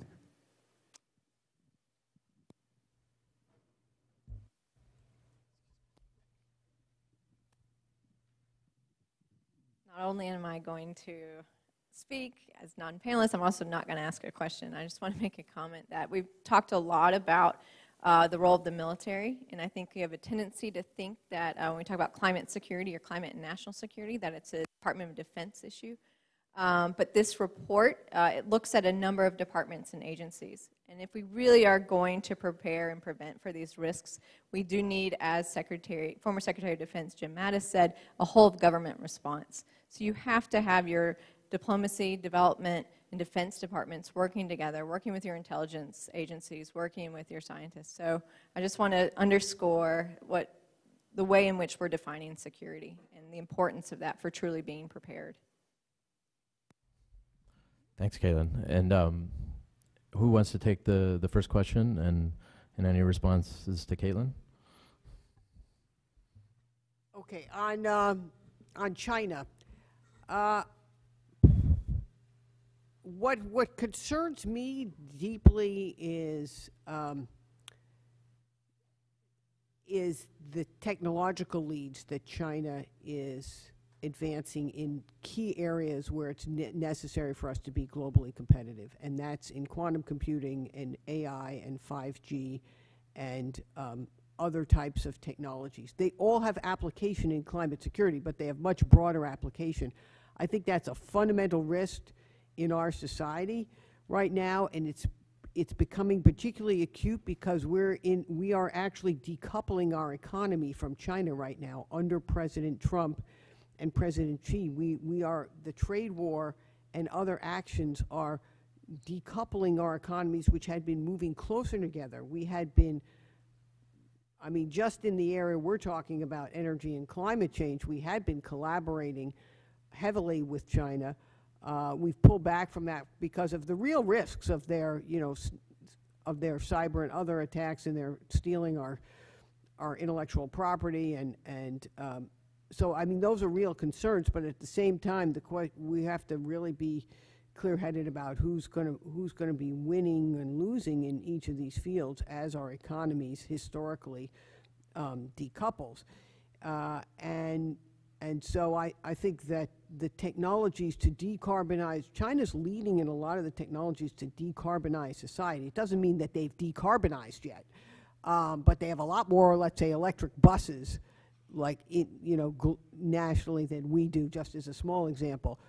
They've done a lot more with solar. They're still very heavy on coal, so they're kind of doing all of the above at a very heavy rate, their population. So the, as to their climate leadership in the, in the military in particular, um, I, I, you know, I, I don't have great in, I don't, I don't have any particular insight on their programs. I think the U.S. is probably ahead in, in many ways on thinking about the analytics of it, but I think there's a lot of technology advances and innovations that are occurring across across China in many sectors now that is deeply troubling for Amer for the American way of life.